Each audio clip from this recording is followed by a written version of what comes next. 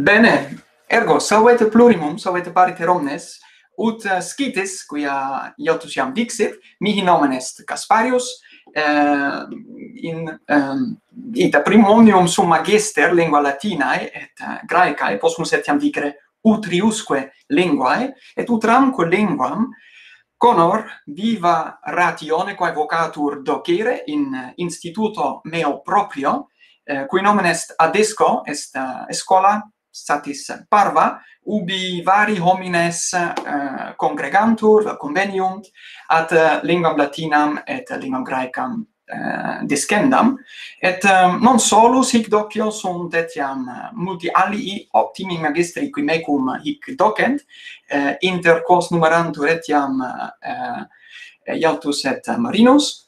Et ehm, um, velim vobiscum hodie loqui de varis lingua latina docende rationibus et et non faciam latine sed batavige ergo nunc fortasse iam satis uh, loquax latine saltem fui, fui et um, pergam nunc batavice. Goed, hele goede avond allemaal. Uh, eh, Jelt had inderdaad net al een beetje de inleiding gegeven. Mijn naam is dus Casper, uh, Casper Pardon. Ik, uh, ik zal even um, ehm, twee dingen veranderen. Ik heb werk met, uh, nu zie je ook misschien een beeld, een soort emmetje. Dat is een, uh, een programma in beta. En uh, ik ben uitgekozen om daarmee te mogen werken. Dus daar ben ik heel blij mee. Maar het is dus wel een beetje zoeken. Ik kan allemaal hele fancy dingen doen zoals dit. ik kan mezelf aan de kant zetten en zo. Dus um, je komt een soort, als een soort zondag met Lubach kan ik nu mijn presentatie geven. Is het, is het leesbaar zo? Ben optimaal. Goed, is uh, als disclaimer. Dit is uh, ook voor mensen die dit later terugkijken. Dit is grotendeels voor studenten van de Universiteit Nijmegen, begrepen. En uh, die in de praatgroep zitten bij Mari en Jelt. En ze hebben aan mij gevraagd of ik wat meer wilde vertellen over de didactische achtergrond van het zogenaamde actief Grieks en Latijn. Het, ehm, ja, de bedoeling, ik heb een aantal dingen bedacht. En dat is dat ik een algemene inleiding geef dan uh, specifiek wat inzoom op taalverwervingsonderzoek, omdat dat uh, ja, het hart is van wat we doen. Dan de didactiek die daaruit voortkomt.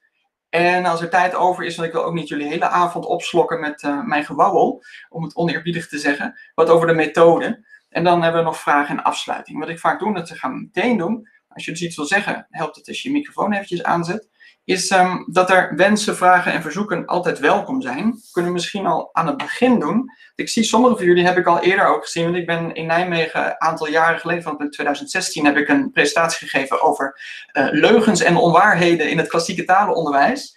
Toen, uh, ja, dat was het thema van het uh, klassiek symposium en toen kon ik er hard in, want de leugens en onwaarheden, het thema was natuurlijk strikt genomen over wat er in de klassieke tekst was geschreven. Maar ik vond dat er bepaalde leugens en onwaarheden werden verteld over het onderwijs, letterlijk in die zin hè, dat we op een veel leukere, efficiëntere en makkelijkere manier Grieks en Latijn zouden kunnen leren en doseren. Toen, vorig jaar of twee jaar geleden, ben ik ook nog in Nijmegen geweest, dus best wel recent. En sommige ik daar ook gezien, Julian bijvoorbeeld. Dus uh, een deel zal voor herhaling zijn, maar ik zie ook heel veel nieuwe gezichten. Dus het is denk ik toch goed om ook weer terug te gaan naar de basis. En uh, ja, ja, waar, waar mogelijk, uh, wat ik al zei, aanvullingen en zo, kan ik altijd geven. Dus als je meer wil weten, brul dan even. Is er iets waarvan je van tevoren nu al zegt van, nou, dat zou ik echt leuk vinden of heel graag willen horen? Of hebben jullie zoiets van, nou, weet je, doe gewoon je verhaal en dan merken we het wel. Ik ben ondertussen even naar jullie gezichten aan het kijken. Ja, prima. Oké. Nou, dan uh, gaan we starten. Het is, um, um, ja, voor, voor mij persoonlijk, ik heb dus in 2005, dat is al ruim 16 jaar of 16 jaar geleden, uh, Adisco-onderwijs opgericht in de overtuiging dat iedereen Grieks en Latijn kan leren. En ik begon met de zogenaamde grammatica-vertaalmethode, de manier waarop we, denk ik, allemaal Grieks en Latijn hebben geleerd. Um, Namelijk met de, rijtjes en uh, de, de grammatica, uh, woordenlijstjes. En dan als we een tekst gingen lezen, dan deden we dat al uh, puzzelend, analyserend en vertalend. Eigenlijk via de vertaling konden we pas tot de inhoud van de tekst komen. En was het best wel lastig om direct van links naar rechts te lezen. In ieder geval, dat was voor mij een heel groot probleem. De eerste drie leerjaren van de middelbare school gingen nog wel redelijk. En kon ik ook goed scoren met de stamptoetsen. Dus de rijtjes kon prima uit mijn hoofd leren. en ik vermoed zo jullie ook. Maar vertalen in ieder geval, ik denk dat bij jullie dat ook over het algemeen, de meeste mensen zijn heel goed in klassieke taal, die gaan het dan ook studeren. Ik was er niet zo best in. En ehm, daar maak ik ook niet zo'n groot geheim van. Ik, uh, ik heb voor me toen mijn eindexamen 4,6 gehaald. Dat is niet echt uh, denderend. En mijn schoolexamencijfer was een 6,4. Dus dat samen maakte een 5,5. En menigeen verklaarde me sowieso al voor gek dat ik klassieke talen ging studeren. Maar ja, wat moet je met die nutteloze talen? maar tegelijkertijd werd ik nog meer voor gek verklaard, omdat als ze dan hoorden van, oh, dan ben je zeker heel goed in Grieks Latijn. Dan zei ik, nou, nee, eigenlijk niet. en dan hadden mensen gezegd, hé, maar waarom ga je dan studeren? En dan was mijn antwoord, omdat ik er goed in wil worden. En dan je, dat, ja, dat vonden heel veel mensen toch wel heel raar. Het is vaak zo dat iemand die al ergens goed in is, daar dan in verder gaat. Maar je kan natuurlijk ook andersom het aanvliegen en denken van nee, ik ben er nog niet zo goed in, ik wil er goed in worden. Ja, en het hoogste niveau om klassieke talen te doen is natuurlijk universiteit. Nou, ik kwam er een beetje uh, ja, van een soort uh, koude kermis van thuis, want dat was eigenlijk meer en meer van wat we al op de middelbare school deden, alleen dan op een nog hoger niveau. En hier en daar natuurlijk wat dieper op de stof uh, ingaand, maar bleef dat we teksten gingen vertalen. En ik weet dat er op een college was over Hugo de Groot.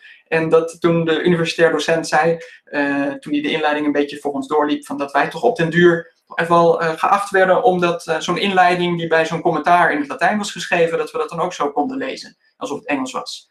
Nou, heel fijn dat hij dat kon, maar wij als student hadden zoiets van, nou, geef ons een woordenboek en heel veel tijd. En dan lezen we van jou die inleiding wel, maar zo snel als dat wat jij nou van ons verwacht, dat gaat niet.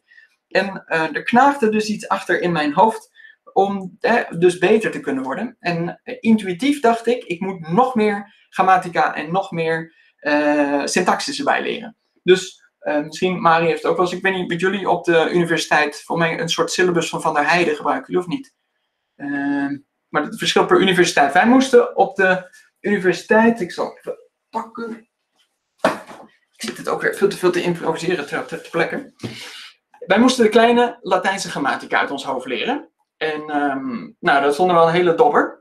Maar ik kwam antiquarisch ook deze van, uh, bijvoorbeeld, dit is van Woltjer, kwam ik uh, tegen. Die is veel dikker. En er staan veel meer uitzonderingen. En ik heb, als je zo naast elkaar houdt, dan zie je wat het verschil is. Dus gewoon vier keer zo dik. Uh, dus hier stond veel meer kennis in. En ik had zoiets ja, mijn, mijn voor, voorgaande generaties, die mij dus nu lesgeven op de universiteit, die moesten wel dit boek nog uit hun hoofd leren.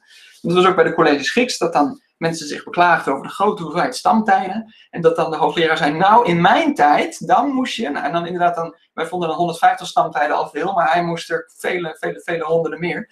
Uh, en dan de meeste hadden dat... In, in dat boek van Woeltje staat volgens mij al, in het boek van Woeltje staat volgens mij al, dat het echt helemaal minder kan in de voorwoord. Ja, inderdaad. En dat valt op hoe verder je teruggaat in de tijd, hoe meer er in die inleidingen ook staat, dat ze dus eigenlijk al een samenvatting maken van de stof omdat er gewoonweg niet genoeg tijd meer is op school om dat allemaal door te lopen.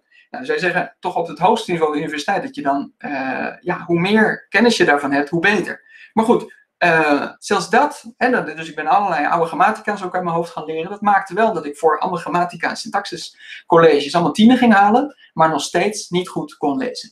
Dus uh, in de grote vakantie ben ik toen tussendoor iedere keer oude methodes gaan doorlezen en iedere keer verder terug in de tijd. Totdat ik de methode van Urberg tegenkwam, waar jullie, uh, tegenkwam, waar jullie nu natuurlijk met uh, Marie en Jelte ook mee werken. En toen was het eigenlijk pas voor het eerst dat ik een leeservaring had in het Latijn. Tot die tijd moest ik altijd met een commentaar en woordenboek eh, paraat een tekst te lijf gaan, letterlijk. en uh, daar was het pas voor het eerst dat ik van links naar rechts een tekst kon lezen. Nou, daarna ben ik me helemaal gaan specialiseren in ja, hoe uh, leren we eigenlijk dus talen? En daar wil ik jullie wat meer over vertellen, want daar ging er een wereld voor mij open. En verklaart uh, het ook een heleboel in de zin van hoe komt het dat ook al ken je wel alle grammatica en ken je wel alle woordenlijstjes, dat het nog steeds heel lastig is om dan een tekst te lezen tussen aanhalingstekens. Dus uh, nou ja, wat lezen überhaupt is, komen we zeker zo ook over te spreken.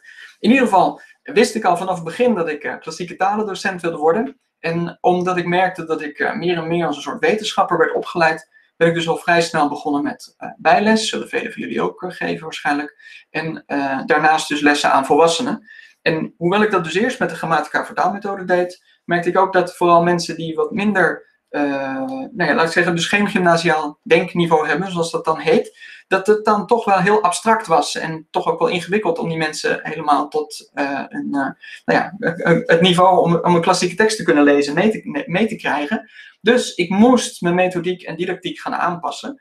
En nou ja, dat is een heel proces geweest. En dat hele proces zal ik jullie verder besparen. Maar ik wil jullie de grondbeginselen geven van dat je veel beter vanaf het begin af aan nu kunt gaan bepalen van wat is een goede methode, wat is een goede manier om tijdens de lessen, als je het onderwijs in wil, om uh, daarmee te gaan werken met je leerlingen.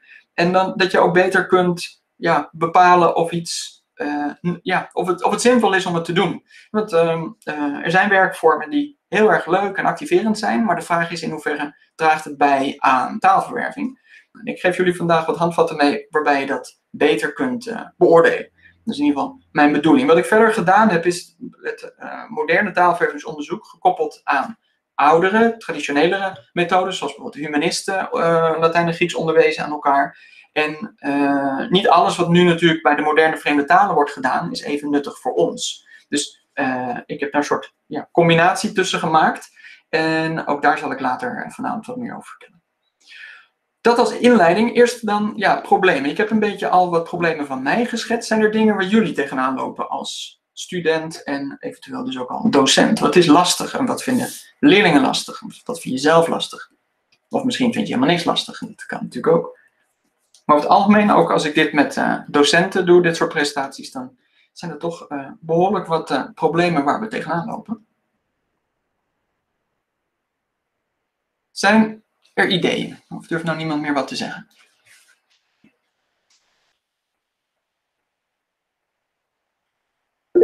Ja, even kijken, Fleur. Ja, um, wat ik zelf nog heel erg weet is bij de. Kunnen jullie trouwens mij horen? Ja, zeker. Oké, okay, mooi. Um, wat ik zelf nog heel erg weet is um, in de zesde. Um, ik vond klassieke talen nog heel erg leuk. Alleen mijn medeleerlingen op een gegeven moment allemaal niet. En die wilden natuurlijk later ook helemaal niks meer mee gaan doen. Maar wat je dan heel erg zag is dat eigenlijk het vertalen was zo niet meer gangbaar. Omdat je elke keer in die grammatica en je had dan al...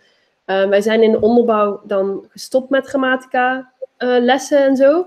Maar ja. uiteindelijk wordt er wel inderdaad verwacht dat je nog drie jaar doorgaat met die grammatica vertaalmethode.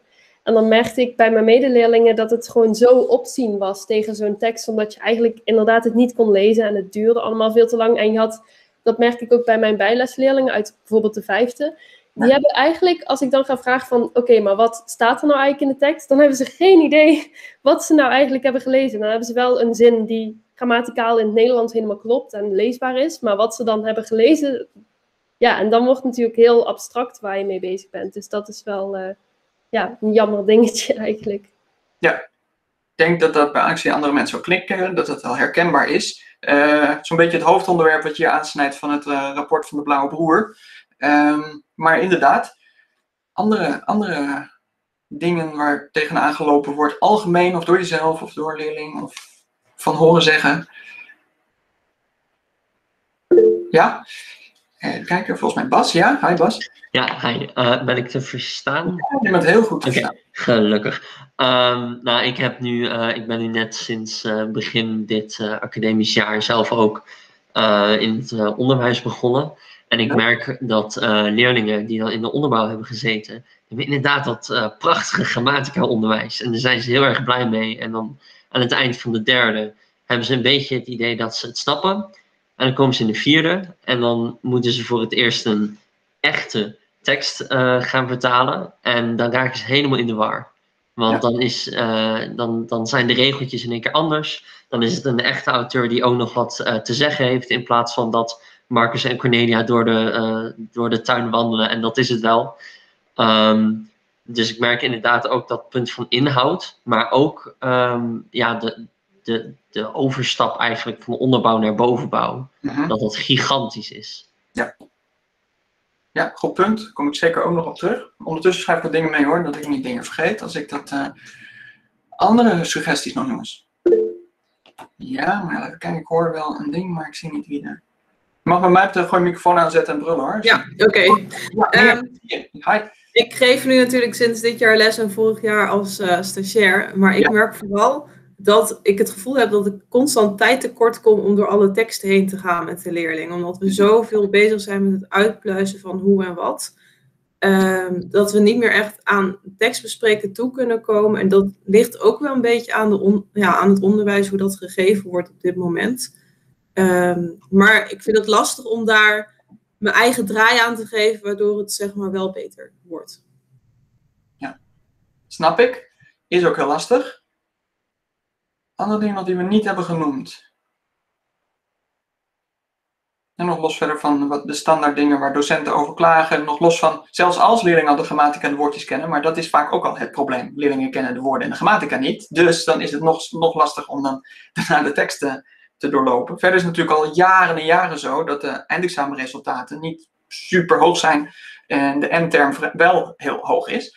Om uh, de resultaten gemiddeld uh, nou ja, in lijn te laten lopen met, met voorgaande jaren. Uh, vorig jaar was er natuurlijk geen eindexamen. Twee jaar geleden was de N-term 2. Dat is best fors. En um, als je alleen maar kijkt naar het onderdeel proefvertaling, dan zie je dat meer dan de helft van de leerlingen daar een onvoldoende op zou scoren. En gelukkig is er nog de andere helft van het eindexamen wel voorbereidbaar is. En ook als je daar aan leerlingen vraagt, hoe heb je daarvoor voorbereid? Dan zullen er veel zijn die zeggen, ik heb de teksten uit mijn hoofd geleerd. Um, ja, ik weet uh, dat in ieder geval veel van mijn klasgenoten dat ook deden. Ik had zoiets ja, nee, ik vertik dat. Ik wil die tekst gewoon zelf kunnen lezen. Nou ja, dan haal je een 4.6. Eh, in mijn geval dan, hè. niet dat iedereen een 4.6 had. Maar dat was mede, ik, ja, ik wilde gewoon die teksten niet aan mijn hoofd leren. Ik wilde het gewoon zelf kunnen. Nou ja, dat ging toen in ieder geval dus nog niet. Uh, gelukkig inmiddels gaat dat wat beter.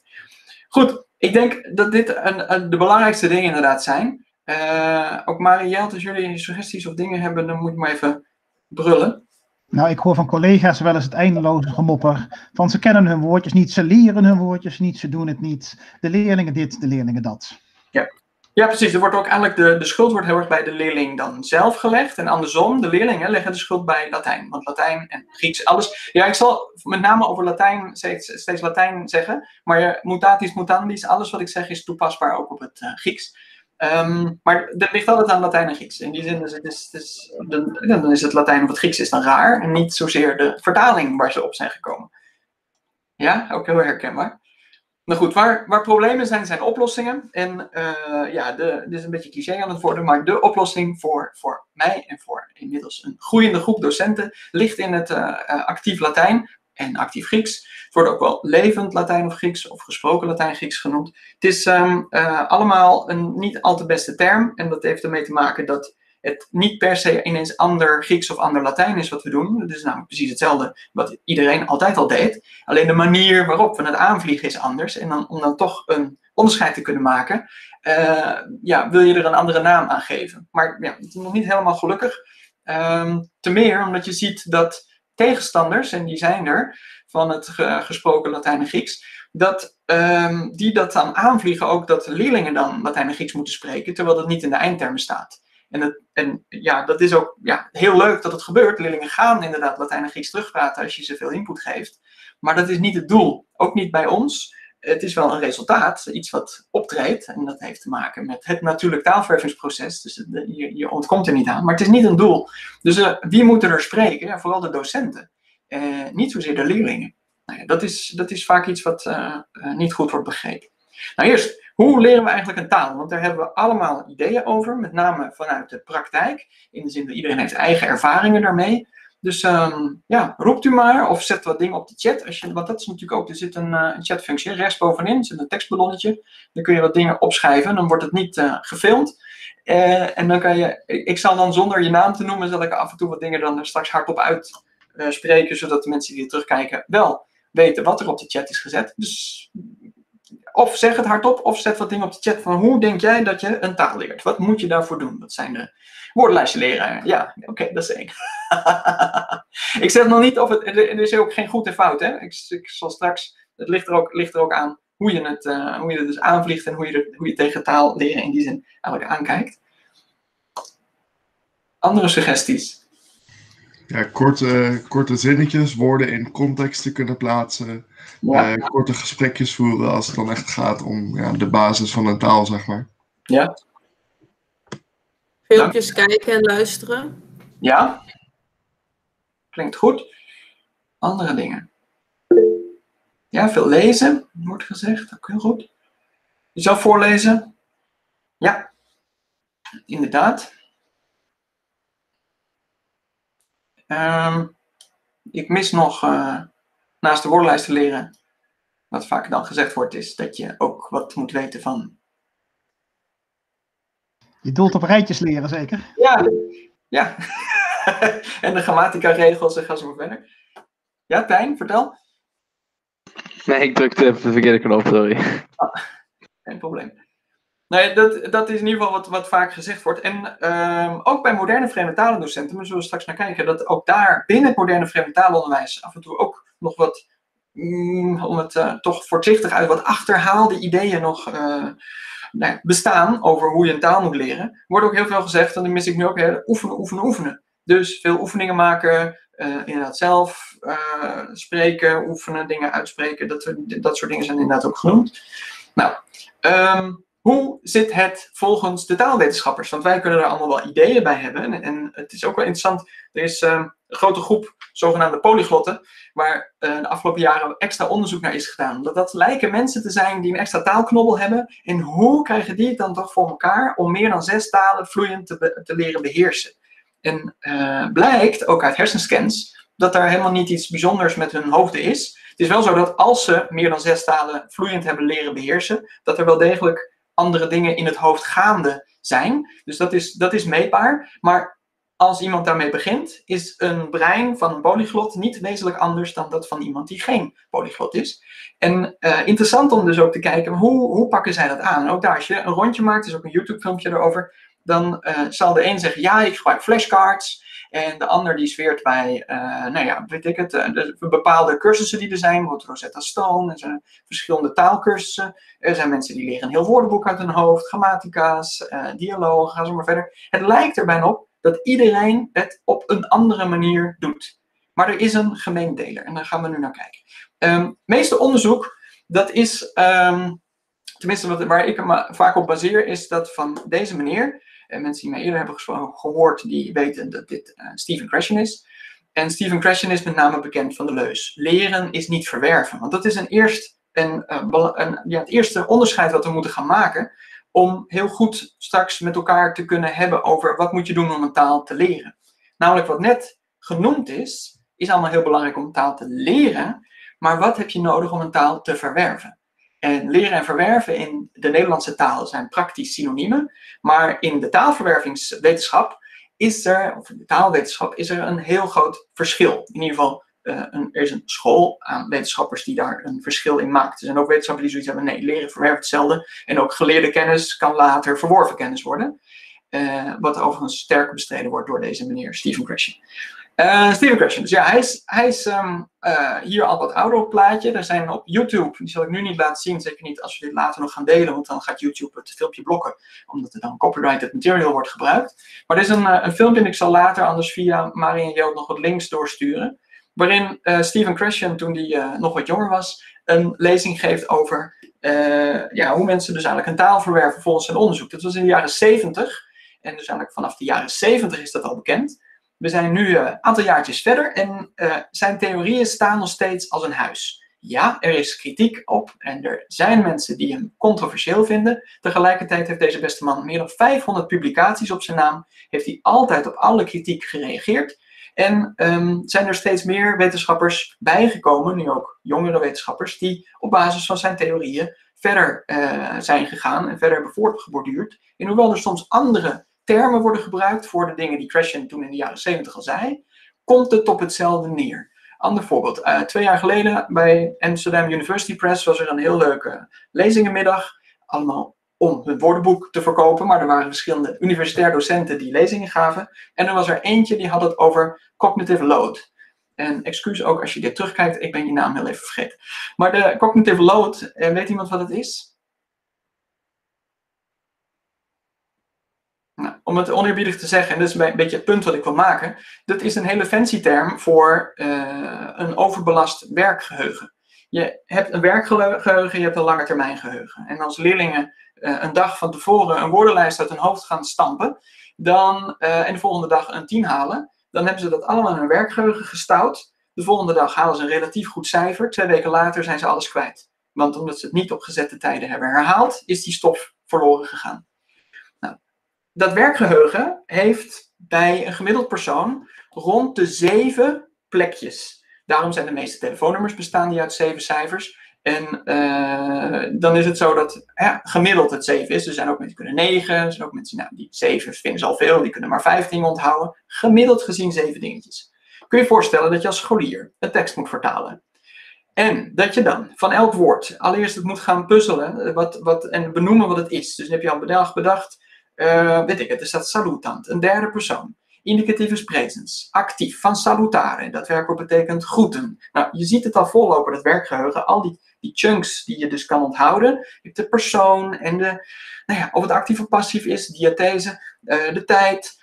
Nou, ga zo maar verder, de modus je voelt een beetje waar ik heen wil, hè? Nou, dat noemen ze dan dus als een leerling volloopt daarmee, en dat gebeurt. En daarom is het ook, dat verklaart ook waarom leerlingen, als ze in zin 1 al een werkwoord hebben opgezocht, dat ze dan drie zinnen later, als datzelfde werkwoord nog een keer wordt gebruikt, het werkwoord nog een keer gaan opzoeken in het woordenboek. Ze zijn het gewoon weer vergeten, eh, want het werkgeheugen is weer volgelopen met extra informatie, waardoor ze vergeten zijn dat ze het werkwoord al hebben opgezocht. En dan gaan ze het nog een keer opzoeken, zonder van de tijd. Maar dat, dat is dus een heel logisch verschijnsel. En dat noemen ze dan, afhankelijk weer van welke schoolwetenschappers, overbelasting van je werkgeheugen of dus cognitive load. Ja, dat is uh, een voorbeeld dat je dus groepen mensen hebt die mooie artikelen schrijven over één en hetzelfde onderwerp, maar daar allebei een andere term aan geven. En dat is soms wel eens lastig, want dan lijkt het soms dat er uh, oneenigheid over is of, of nog discussie. Terwijl, ja, dat is niet per se zo. Question heeft zes hypothesen geformuleerd en ze staan nog alle zes, na dus ruim 40 jaar, nog als een huis overeind. Ik ga er een paar met jullie doorlopen, allereerst de belangrijkste en dan, als er straks nog wat tijd over is, de wat minder belangrijke. In eerste instantie toch eerst over dat verwerven en um, leren. Dat is een heel belangrijk onderscheid om te kunnen maken, omdat um, wat ik al zei, die termen lijken in Nederland en in het onderwijs en op universiteiten door elkaar gebruikt te worden. Ik heb uh, aan de VU gestudeerd en daar hadden we Latijn taalverwerving 1 en Latijn taalverwerving 2, Latijn taalverwerving 3. Nou, ik heb Latijn inmiddels wel verworven, maar niet op de universiteit. En niet bij Latijn taalverwerving 1, 2 en 3. Die cursussen waren Latijn leren, stampen, memoriseren, uh, kapot analyseren. Uh, allemaal heel leuk en interessant. Ik heb er echt heel erg van genoten. Maar uh, ik leerde er niet beter door lezen. En um, wat is dan het verschil tussen die twee? Nou, dit is heel zwart-wit. Leren over het algemeen is kunstmatig. Het is bewust, een bewust proces. Het is heel technisch, veel theorie, veel jargon. Het is heel intensief. Je leert vooral over de taal. En het is expliciet. Dus alles moet benoemd worden en kenbaar gemaakt worden. Verwerven daarentegen is een onbewust en natuurlijk proces waarbij je meer intuïtief uh, gaat aanvoelen of de taal goed is of niet goed is. Uh, je leert het vanuit de praktijk. Het is in die zin dus extensief. Je leert in de taal. Kan ook over de taal leren, maar het is altijd in de taal. En het is meer impliciet. Dus je hoeft niet meer van elk vormpje precies te weten hoe je het benoemt of wat het precies is. Als je begrijpt wat het betekent, dan ben je er al. Dus je kan heel veel denkstappen overslaan. En dat spaart heel veel geheugenruimte, met name voor het werkgeheugen.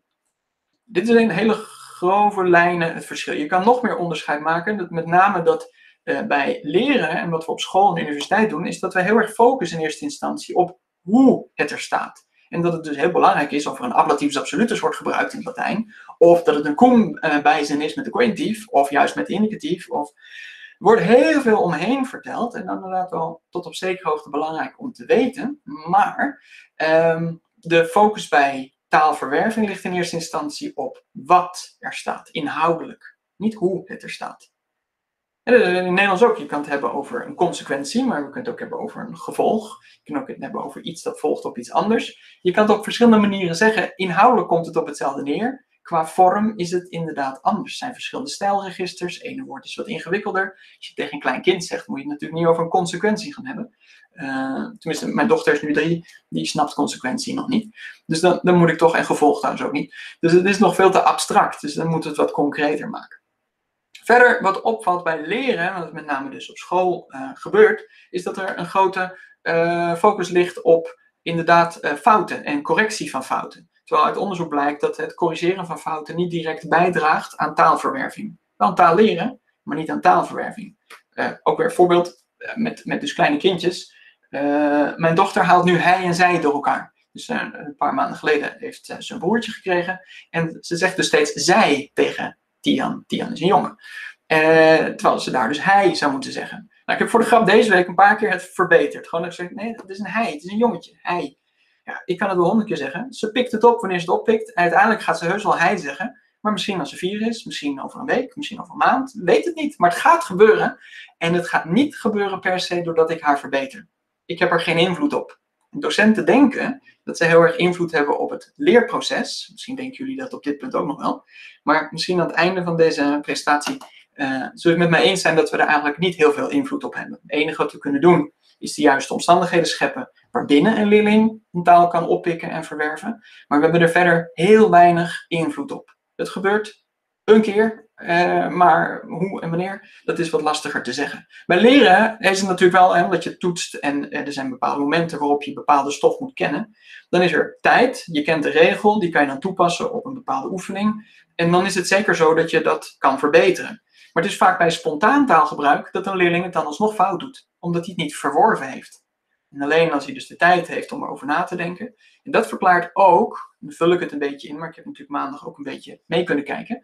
Uh, dat als je pas net Latijn en Grieks leert spreken, zelfs als je dus al middelbare school hebt gehad en je hebt het gestudeerd, dat je dan toch fouten maakt bij het spreken. Je zegt naamvallen verkeerd, tijden gaan niet goed, persoonsvormen gaan niet goed. Uh, dat gaat goed komen, want wat er nu gaat gebeuren is die stof die jullie allemaal hebben gememoriseerd, gaat op een andere plek komen in je brein. Namelijk, je bent het nu, je hebt het al geleerd, maar je bent het nu aan het verwerven. En dat is echt iets anders.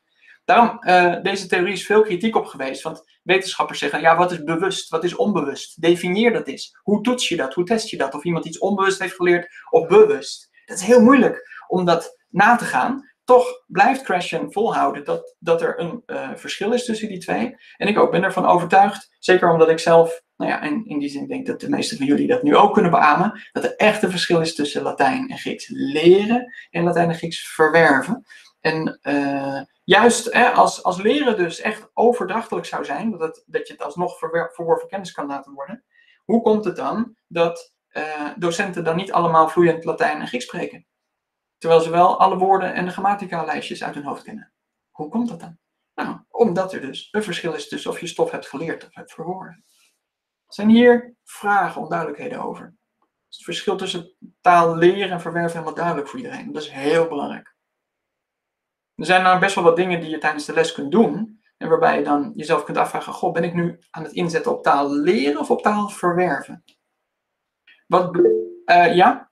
Ik moet even, ja, Fleur. Oh, ja, ik um, vraag me af, want als je zo naar, vooral in het eerste jaar, dan als je kijkt, zijn er toetsen heel erg opgericht inderdaad dat je dingen leert. Ja.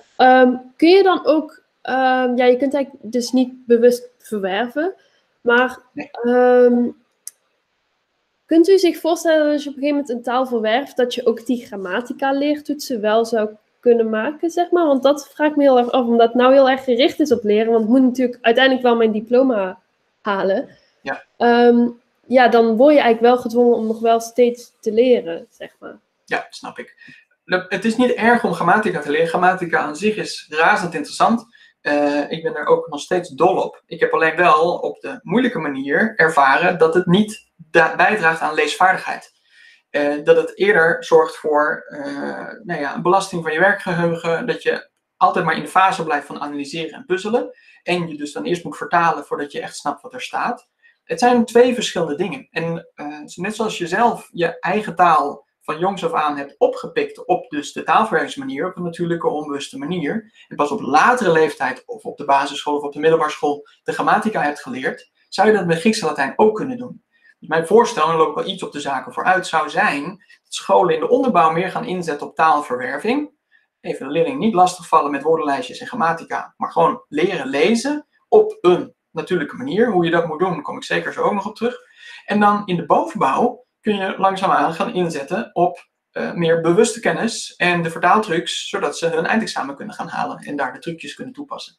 Maar uh, dat is voor leerlingen die hebben leren lezen en de taal hebben verworven vele malen makkelijker dan voor degenen die dat dus op de standmanier uh, moeten doen. Verder zien we dat dus de controlegroepen, want hier zijn heel veel onderzoeken naar gedaan, niet zozeer voor Grieks en Latijn, dat komt nu mondjesmaat op gang, maar eh, voor moderne vreemde taal is hier heel veel onderzoek naar gedaan. En dan zie je ook dat leerlingen die verwerven, op, dus op de natuurlijke manier tijdens taallessen werken, dat die ook dus veel meer zelfvertrouwen hebben, het gevoel hebben al sneller dat ze iets kunnen, en daardoor ook veel meer motivatie hebben. En dat heeft te maken met een gevoel van competentie. En dit zijn ook drie hele belangrijke pijlers waar nu voor Grieks en Latijn ook veel onderzoek naar wordt gedaan. Maar ze zoeken het in een hele verkeerde hoek. Uh, ze zijn aan het kijken hoe ze leerlingen zich competenter kunnen laten voelen, meer zelfvertrouwen en motivatie mee kunnen geven. Maar ze zijn dat niet aan het zoeken binnen de taalverwerving. Ze zijn op andere manieren aan het kijken hoe ze de, uh, die drie uh, belangrijke onderdelen van onderwijs kunnen vergroten voor leerlingen. En uh, ook ik, ik heb, ik mezelf zo in die zin ongelukkig gevoeld als tijdens mijn uh. Omdat dan, ja, vroeg de docent weer wat en alleen al als mijn naam werd genoemd, dan klapte ik al dicht. Dan vond ik doodeng om dan iets te zeggen. Ligt ook aan mij, hè. Ik was gewoon toch best wel faalangstig. Maar um, ja, het is, het is als je het gevoel hebt, en ook zeker hè, als je dus al lage cijfers hebt, zeker aan het begin van je studie, en dan je studiegenoten die halen allemaal meteen voor, taal, voor vertalingen en zo hele hoge cijfers dan ga je al heel gauw dom voelen en inderdaad denken, ja, ik kan dit niet. Uh, en ga zo maar verder. En uh, ik ben er echt van overtuigd dat het te maken heeft met de manier waarop je het leert. En niet zozeer dat het uh, alleen maar met intelligentie te maken heeft. Bedenk ook, hè, in de klassieke periode, niet alleen Cicero sprak goed Latijn. natuurlijk hè, als een van de weinigen zeer eloquent. Maar er waren ook vele andere Romeinen die wel degelijk Latijn goed konden verstaan. Misschien niet zo eloquent konden praten als een Cicero, maar wel zijn redenvoeringen konden verstaan, opgehoor en begrijpen. Uh, en daar zaten ook mensen die minder hoog opgeleid waren tussen. Het grootste deel van de bevolking bij de Romeinen was natuurlijk analfabeet. En als je kennis wilde nemen van de klassieke teksten, moest je naar voordracht gaan. Teksten werden voorgedragen. En uh, auditief kon ze ook niet wachten op het hoofdwerkwoord en daar dan een onderwerp bij gaan zoeken enzovoort. Dus gewoon van links naar rechts, dus gewoon zoals het uitgesproken werd, konden mensen die teksten verstaan. En ook met de poëzie, ik heb natuurlijk jaren ook zelf gedacht van, nou, dat kan niet. Dat iemand, dat je dat voorleest, dat Romein dat snapt. Het staat zo door elkaar. Dat is echt gekke werk. En er zijn natuurlijk dichters uh, die voor een native Romein ook lastig waren. En dat weten we ook door commentaren die we uit de oudheid over hebben. Dus het was echt niet allemaal makkelijk. En dat is een ander ding wat we goed in ons achterhoofd moeten houden. En dat ook met die overgang, die volgens mij Bas net noemde, uh, te maken heeft van de, het gemaakte Latijn naar echte teksten. Ja, dat is dat het echt niet mals is hè, wat we moeten lezen. Dat is de top van de westerse literatuur. Dat is niet eenvoudig. Als je nu een leerling hebt, uh, of gewoon niet een, een, tweede taalverwerver, maar een eerste taalverwerver. Gewoon een kindje rond vijf, zes jaar kan je zeggen van nou, die heeft de taal verworven. En dat is ook de leeftijd dat ze leren lezen en schrijven. Maar zo'n leerling van zes kan nog geen uh, vondel lezen en ook geen uh, wetenschappelijk artikel. Daar is die nog niet. Nou moeten wij in zes jaar zonder eigenlijk die taalverwervingsfase door te maken, maar op dus een standmanier, gaan toewerken naar literaire teksten. Het is niet te doen. Het is logisch dat er hele slechte resultaten worden gehaald, omdat het, uh, ja, we vragen iets wat niet, niet heel erg haalbaar is. Dus maar een heel select clubje mensen dat op zo'n abstracte manier over taal kan nadenken en in staat is om met een woordenboek, inderdaad met wat aantekeningen, tot een goede vertaling te komen. En van dat hele selecte clubje mensen gaat een nog selecte clubje mensen klassieke talen studeren. Dat zijn jullie. En dus jullie zijn er goed in, maar merendeel van de mensen niet. Dus het is gewoon, ja, en ook niet gek dat dat, dat dat lastig is. En dan zelfs, zelfs als je er goed in bent, wil het nog niet zeggen dat je een tekst op een natuurlijke manier van links naar rechts kan lezen, laat staan verstaan, of dat je iets kan zeggen of foutloos kan schrijven. Het zijn echt hele andere vaardigheden. Goed. Um, de andere, ik ga, de, ik ga iets, uh, gaat hier natuurlijk niet goed, wacht. Uh, ik zit te, te kloten. Hier dus. Dus de problemen had input. De volgende input, input-hypothese is um, een belangrijke, omdat um, uh, dat ook, het lijkt op school, ook bij Frans en Duits en moderne vreemde talen, dat die vier vaardigheden die je hebt bij talen, in het Latijn de facultates, uh, heel erg door elkaar geoefend worden. En dat er niet echt een uh, patroon of volgorde in zit. Dus er wordt geluisterd en er wordt gesproken en er wordt gelezen en wordt geschreven. En dat gaat allemaal door elkaar heen. Maar er zit wel degelijk een bepaalde volgorde in. En dat zie je bij kleine kindjes. Kleine kindjes zijn het eerste jaar, anderhalf jaar, vooral aan het luisteren. Een beetje brabbelen, maar hè, luisteren en spreken in die zin heeft met elkaar te maken, uh, met gesproken taal te maken. Maar leerlingen, dus uh, baby's eerst, voordat we naar leerlingen gaan, moeten eerst heel lang luisteren, zogenaamde silent period. Dan, als je een jaar of zes bent en je gaat naar groep drie, dan leer je ook lezen en schrijven. Wordt ook tegelijkertijd behandeld. Het is wel zo dat mensen die goed kunnen schrijven vaak ook hele goede lezers zijn. Veel hebben gelezen. En de problemen die nu, eh, misschien heb je het gehoord, een kwart van de leerlingen die eh, het basisonderwijs verlaten is uh, laag geletterd. Dat is extreem en heel ernstig. Dat zijn wel mensen die dus gewoon onderwijs hebben genoten, maar nog steeds een kwart kan dus niet goed lezen en schrijven. Ehm, hoe komt dat? Omdat er steeds minder goed wordt gelezen. Dat is ook een beetje een kip-ei verhaal. Iemand die niet goed kan lezen vindt het ook niet leuk om te lezen. Maar de oplossing zit hem wel in het lezen. Daar komen we later nog op terug. Voor Grieks en Latijn ligt dit natuurlijk nog anders. Want wij zijn niet aan het spreken. Uh, want het is geen einddoel. We zijn ook niet aan het schrijven bij Grieks en Latijn. Tijdens onze lessen zijn we ook niet echt aan het luisteren. Er wordt geen luistervaardigheid geoefend. Je kan het, als je geluk hebt, spreek je docent de tekst nog vol, eh, eerst uit voordat je hem gaat vertalen. Maar heel veel meer Latijn en Grieks hoor je niet. En wordt er gelezen? Ik zie sommige mensen al nee schudden, sommige mensen knikken misschien ja. Eh, eerlijk, ik denk niet dat er echt gelezen wordt over het algemeen. We noemen het lezen, maar ons lezen, daarmee bedoelen we puzzelen, analyseren, vertalen. Niet lezen zoals ze bij uh, Engels lezen. Dus wat wij aan het doen zijn is vertalen, een compleet andere vaardigheid. En mag ik wel zeggen, misschien een van de moeilijkste. Ik vind nog altijd, hoewel ik nu uh, toch uh, wel kan zeggen dat ik vloeiend Latijn spreek, redelijk foutloos kan schrijven, ga zo maar verder. Vind ik het nog steeds best heel lastig om een goede vertaling te maken. En niet over een werkvertaling. Dat, ja, dat trucje dat kunnen we inmiddels. Maar een goede literaire vertaling. Nu hebben jullie natuurlijk een topper in Nijmegen, Vincent Hunink. Ik denk een van de bekendste vertalers van dit moment. En een van de productiefste. Uh, ik denk dat hij nou rond de 100 of misschien al over de 100 is aan, aan publicaties die die, of vertalingen die hij heeft gemaakt. Het is echt een vak apart. Het is een kunst. En om goed te kunnen vertalen moet je twee dingen goed beheersen. Namelijk niet alleen uh, de vreemde taal van waaruit je vertaalt, maar ook je eigen taal. Maar om dat überhaupt te kunnen, is er dus een stapje daaraan vooraf nog nodig. Je moet eerst het Latijn zelf kunnen, of het Grieks dus zelf kunnen uh, lezen. Om te kunnen lezen is het dan weer zo dat uh, ja, je in feite, want we willen graag kunnen lezen, dat je voordat je kunt lezen, je ook moet leren luisteren. En die is vaak heel raar. En ook met vakdidactici van de VU en Leiden gaan ze er vaak discussie over gehad. Want die vinden die stap van luisteren voor een dode taal als het Latijn mm, onzinnig. Die is niet onzinnig. Want hoewel wij denken dat de taal zoals op papier staat, dat dat de taal is, is dat een weergave van de taal. Die lettertjes staan voor klanken. Dus de taal is altijd auditief. Die lettertjes staan voor klanken. Dus als je goed kan lezen wat er dan gebeurt, ik weet niet of je dat in Nederlands of in andere taal ook uh, hetzelfde ervaart als ik zelf, maar als ik een, een, tekst lees, ongeacht de taal, dan hoor ik het als het ware in mijn geestesoor, alsof het voorgelezen wordt. Ik hoor de woorden in mijn hoofd. Zijn niet alleen zozeer de letters die op papier staan, maar de klank waar ze voor staan. Als we leerlingen die klanken kunnen meegeven van het Grieks en het Latijn en dat kunnen koppelen aan de dingen waar ze voor staan, en later zien de leerlingen de, uh, door middel van het alfabet en de weergave van de letters op papier, die klanken dan op papier staan, kunnen het weer horen en weten dan waar dus die lettertekens op papier voor staan. Ja, daar is zoveel winst daarmee te boeken, dat de leerlingen op die manier dus veel natuurlijker kunnen leren lezen. Maar dat gaat eerst dus via de oren, net als bij eerste taalverwervers. Eerst leren luisteren, dan lezen. Nu is het zo dat je al hebt leren lezen en schrijven in het Nederlands. En het Nederlands bestaat, eh, gebruikt een Latijns alfabet. Dus je hoeft het niet zo precies helemaal te doorlopen als uh, een baby. Uh, maar het is wel zo dat als je die stap van luisteren helemaal achterwege laat, en je dus alleen maar meteen gaat focussen op leren lezen, dat dat, dat, dat niet goed gaat. Is ook, uh, ik denk dat jullie dat al niet meer hadden, maar ik zat in de tweede fase toen van het studiehuis. En daar had je Frans 1 en Frans 2.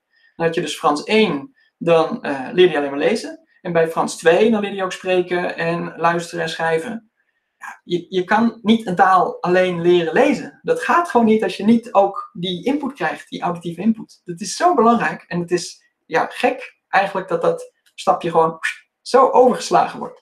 Daar zit een heel grote oplossing voor het probleem. Um, nou, dat luisteren en lezen, want je kan het wel door elkaar doen. En vanaf het allereerste begin, ook bij onze cursussen, de eerste les, leren we mensen en luisteren, maar we gaan ook meteen een stukje lezen. Maar we zullen altijd het stuk, voordat we het gaan lezen, eerst laten horen. Uh, ja, de praktische invulling kom ik dan meer straks op nog. Maar het is een, um, een belangrijke stap. Die luister- en leesvaardigheid noemen we input. Spreken en schrijven noemen we output. En dat is omdat de leerling daar zelf uh, iets moet kunnen produceren. En bij de moderne Verenigde talen zie je dat er apart voor uh, op wordt geoefend, hè, op kunnen spreken en schrijven. Dus je moet dialogen dan leren, je krijgt schrijfoefeningen, ga zo maar verder. En die dragen uiteraard bij aan het leerproces. De vraag is alleen in hoeverre het bijdraagt aan taalverwerving. Um, want ja, de meest extreme theorie is dat je een taal verwerft door input. En dat het resultaat, let op, het resultaat van de input output is. Dus als je nu merkt dat je nog iets niet goed kan zeggen, of dat het nog niet goed lukt om iets op papier te zetten, foutloos, dan komt dat doordat je nog niet genoeg input hebt gehad. Dit verklaart ook waarom mensen van voorgaande generaties, en dan heb ik wel echt tientallen jaar geleden voor voor de mammoetwet, die, kon, die hadden al een hoger niveau als ze van de middelbare school afkwamen. Die hadden al meer gelezen dan nu een tweede of derde jaar student klassieke talen, gewoon in hun middelbare schooltijd. Ook niet zo'n kunst met 8 à 12 uur Grieks en Latijn per week. Maar uh, die hadden dan in een eerste jaar een soort stamcursus, moesten alle woordenlijstjes en grammatica allemaal tot zich nemen. En begonnen ze vaak al het eerste jaar met oorspronkelijke auteurs te lezen, tussen aanhalingstekens. En dat bleven ze ook doen in het tweede jaar, derde jaar, vierde jaar, vijfde jaar. Dus die mensen hebben uiteindelijk ontzettend veel input gehad, waardoor ze toch een best heel hoog leesvaardigheidsniveau wisten te behalen. Input. Uh, dat verhaal dat ik net vertelde over de polyglotten, Hoewel ze allemaal dus op een andere manier zelf bewust denken dat ze het op een andere manier aanpakken, dus met de flashcards, ik ga het niet herhalen, hebben we het net over gehad, is de gemene deler dat allemaal ze ook naar radio luisteren, films kijken, uh, boeken gaan lezen voor de lol. Gaan ze, krijgen input. Dus uh, eigenlijk is er, zoals er, ja, dit zijn gevaarlijke polariserende onderwerpen, maar zoals het merendeel van de wetenschappers er ook niet over twijfelt dat er klimaatverandering is, uh, klimaatverandering in die zin moeten we misschien een andere naam gaan geven. Misschien gewoon uh, planeetdestructie door de mens. Want klimaatverandering is er altijd geweest, gaan mensen dan zeggen. En ja, dat is ook zo, maar niet in de mate waarop dat op dit moment uh, plaatsvindt. Nou, daar is 97% van de wetenschap het over eens. Net als een gemiddelde bioloog ook niet meer over evolutietheorie gaat schrijven in een artikel, want dat is algemene kennis, wordt niet meer in twijfel getrokken. Nou, zo is het bij de taalwetenschappers zo dat de rol van input niet meer wordt ontkend. Die is heel belangrijk. Er wordt alleen nu nog gediscussieerd over hoe belangrijk die input is. En Christian, en uh, ik kan mijn hand opsteken, en ik ook, gaan steeds meer, want ik heb zelf ook heel veel oefeningen gemaakt, ook met Familia Romana, uh, die Exercitia Latina die erbij zit. Ik heb een digitale versie van gemaakt. Ook heel veel van geleerd. Ik denk ook bewust. Maar voor de taalverwerving, als je door input taal verworven hebt, dan kun je altijd output geven. Want het, het, het komt dan. Net zoals op een gegeven moment kleine kindjes leren spreken. Zonder dat ze ooit maar een grammatica-oefening hebben hoeven doen. Ze voelen het aan dat goed is. En dat is uh, iets wat je, als je goed wil worden in schrijven en goed wil worden in spreken, kun je daar verder op oefenen. Maar dat kan niet als je geen input hebt gehad. Dus te vroeg vragen om output is gevaarlijk. In die zin ook voor het leerproces. Krijgen mensen weer het gevoel van, oeh, ik kan het niet. Ik weet nog mijn eerste les Frans, dat mijn docent Frans meteen aan mij vroeg, kom dan tu t'appelles? En dan, ja, uh, uh, je m'appelle. En dan natuurlijk met mijn lekker Hollandse uitspraak. Later werd het wel wat beter. Maar ja, je wordt gedwongen om iets te zeggen, terwijl je daar eigenlijk nog niet aan toe bent. Eerst input, eerst luisteren, eerst wat lezen. En op een gegeven moment komt die taal vanzelf. Als je er klaar voor bent, dan kun je spreken. En dit gebeurt ook bij Grieks en Latijn. Uh, ik heb, um, in die zin kan ik het ook heel goed vergelijken met Grieks. Marie en Jelt zijn daar veel verder mee dan ik zelf. Ik ben met name met Latijn bezig. Dat komt ook omdat bij Adisco niet heel veel mensen Grieks volgen. Uh, dus ik heb ook niet heel veel groepen Grieks gehad. Die geef ik wel op een actieve manier les. En het is natuurlijk altijd makkelijker om over tekst in het Grieks te praten dan zo uit het niks. Dat je moet vertellen hoe je heet en waar je woont, wat je hobby's zijn en wat je van klimaatproblematiek vindt in het Grieks. Maar het is, het is um, wel zo dat uh, ik daar dus ook veel bewuster nu mee bezig ben om het te verwerven. En dat ik gewoon echt kinderlijk eenvoudige tekstjes lees. En heel veel. Gewoon dat ik het, zolang ik maar kan lezen, lezen, lezen. Dan ga ik naar moeilijkere teksten. En als ik merk van, nee, ik moet nu toch te veel, zou ik toch een woordboek moeten pakken? Dan is de tekst nog op dat niveau, om het op taalverwerving te kan, natuurlijk kan ik het vertalen. Dat is maar dat wil ik niet. Ik wil het kunnen lezen. Dat betekent dus dat ik nog een stapje even terug moet, nog meer moet lezen, nog meer input. En dan langzaam aanmerk je dat je steeds een stapje verder komt. En dat je uiteindelijk kom je op die literaire teksten, wat natuurlijk het doel is. Maar dat, ja, je moet het langzaam opbouwen. Je hebt eerst simpele teksten nodig. Zijn hier over die uh, input um, en output vragen over? De theorie is heel simpel, hè, maar dit ook, zoveel docenten hebben dit al mee besproken. Zomerscholen, uh, didactische trainingen. En dan ga je een les observeren. En wat zie je dan? Docenten stellen allemaal vragen aan de leerlingen. Ze zitten de hele tijd om output te vragen. Output, output, output, output. Die arme kinderen. Nee, moet die kinderen moet je output vragen. Je moet die kinderen input geven. Zodat ze op den duur output kunnen geven. Dat komt vanzelf. Maar als je dat te vroeg doet, en meteen, ja, weet ik het, je laat eh, de, de kaart zien van Imperium Romanum en je gaat meteen leerlingen van Ubi Roma. Je wil meteen dat de leerlingen iets zeggen, zonder dat ze het eerst gehoord hebben. Ja, dat is vragen om problemen. En dan krijg je later, ja, de methode werkt niet. Ja, de methode werkt heel goed, maar je didactiek slaagt niet goed aan op de methode. Dus dat is iets wat, ja, hoe simpel dit ook is, het is bijna, ja, de beste taaldocenten zijn ouders, in feite. Maar om de op, op school of als we lesgeven, vergeten we dit en dan gaan we toch heel gauw uh, ja, leerlingen om output vragen. Dus ja, wees je daarop bedacht dat je, ja, geef eerst input. Inputhypothese dus. Um, de laatste belangrijke is de... Misschien wil Tijn even iets zeggen. Misschien wil Tijn even iets zeggen tussendoor. Oh, sorry. Heb ik, is dat zo? Wat wilde ik zeggen? Jij appte mij net, Tijn. Dus vertel het oh, nou maar iedereen. Gewoon dat, ja, dat het leven, bedoel je het leven, zeg maar? Ja, inderdaad. Hoe jij het, hoe jij het ervaren hebt. Ja, ik, heb, ik en Jelte hebben levend gehad. Dus uh, wij kregen natuurlijk al de input uh, qua luisteren en uh, lezen ook. En ook af en toe spreken. En, en, en we zijn nu ook, ik mag dan misschien wel zeggen, een, een stukje verder in Latijn. Mm dus in de opzicht heb je zeker gelijk. Ja, nou, ik denk in die zin dat jullie echt geluk hebben gehad met Mari. Mari heeft jullie ontzettend veel input gegeven. Hij heeft eigen teksten gegeven. Hij heeft, hij heeft in die zin helemaal gedaan wat nodig is. En ik denk daarnaast ook omdat jullie veel ook buiten de standaardlessen of ook met, met extra groepjes en zo. Door, door dan te gaan spreken. Er is niks mis met spreken. Dus laat dat, laat dat voorop uh, stellen. Hier ook als we hier teruggaan. Spreek, maar de vraag is hoe, in hoeverre draagt spreken bij aan taalverwerving? Eh, de meest extreme uh, inkijk daarop, of hoe zeg je dat? View, hoe zeg je in het Nederlands? Ja, ik heb echt een babybrain, omdat we, hebben een klein babytje en we slapen heel slecht. Dus ik kan soms niet op, heb ik gewoon afasie, kan niet op woorden komen. Maar de um, zienswijze, de, nee goed, hoe mensen erover denken, is dat de meest extreme is dus, je hebt geen output nodig. Je hoeft niet te oefenen met spreken of niet spreken, uh, oefenen met schrijven, zeker niet in de, in de basis. Heb je alleen maar input nodig. Dat is genoeg. Die input moet wel aan een aantal voorwaarden voldoen. Hè? Want als je 10.000 uur naar de uh, Chinese standpunt, ja, dankjewel. Dus als je 10.000 uur naar Chinese radio gaat luisteren, en misschien wel eens gehoord van de 10.000 uren regel, namelijk als je iets 10.000 uur oefent, dan word je er een meester in. Nou, ik kan je verklappen alvast, als je 10.000 uur naar een Chinese radiozender gaat luisteren, dat je na die 10.000 uur nog geen woord Chinees spreekt. Misschien dat je wat klanken kan nadoen, maar je weet, hebt geen idee wat er wordt gezegd. En dat komt omdat die input aan een aantal belangrijke voorwaarden moet voldoen. Uh, en daar uh, kom ik zeker zo nog op terug. Maar dat is dus input aan zich. Ook als je een grammatica vertaalmethode hebt, krijg je ook een bepaalde mate van input. Als je een heel uur over de ACI-constructie uh, uitleg geeft, geef je ook input over de ACI-constructie. Maar dat soort input bedoelen we niet. We bedoelen input in de doeltaal, dus in het Latijn of in het Grieks. En die input moet zijn begrijpelijk, dat leerlingen het kunnen volgen. Want als input niet begrijpelijk is, draagt het niet bij aan taalverwerving. Geen zins. Die input moet interessant zijn als de input niet interessant is, dan gaan leerlingen aan andere dingen denken. Dus het moet iets zijn wat je leuk vindt. Daarom ook, het is natuurlijk binnen klassieke talenland ook een beetje taboe uh, om te zeggen dat je een bepaalde auteur niet leuk vindt of een bepaald genre niet leuk vindt. We moeten alles, alles maar leuk vinden. Maar je kan natuurlijk bepaalde voorkeuren hebben. Net zoals met films. De een houdt van fantasy, de ander houdt van science fiction, de ander houdt van horror. En het is uh, vaak zo dat er, er uh, mensen zijn die wel bepaalde genres samen leuk vinden. Ik hou en van science fiction en van fantasy. Horror minder. Uh, daarentegen vind ik wel weer leuk. Een detective ook. Dus er kan overlap zijn, maar er kan ook een groot verschil zijn.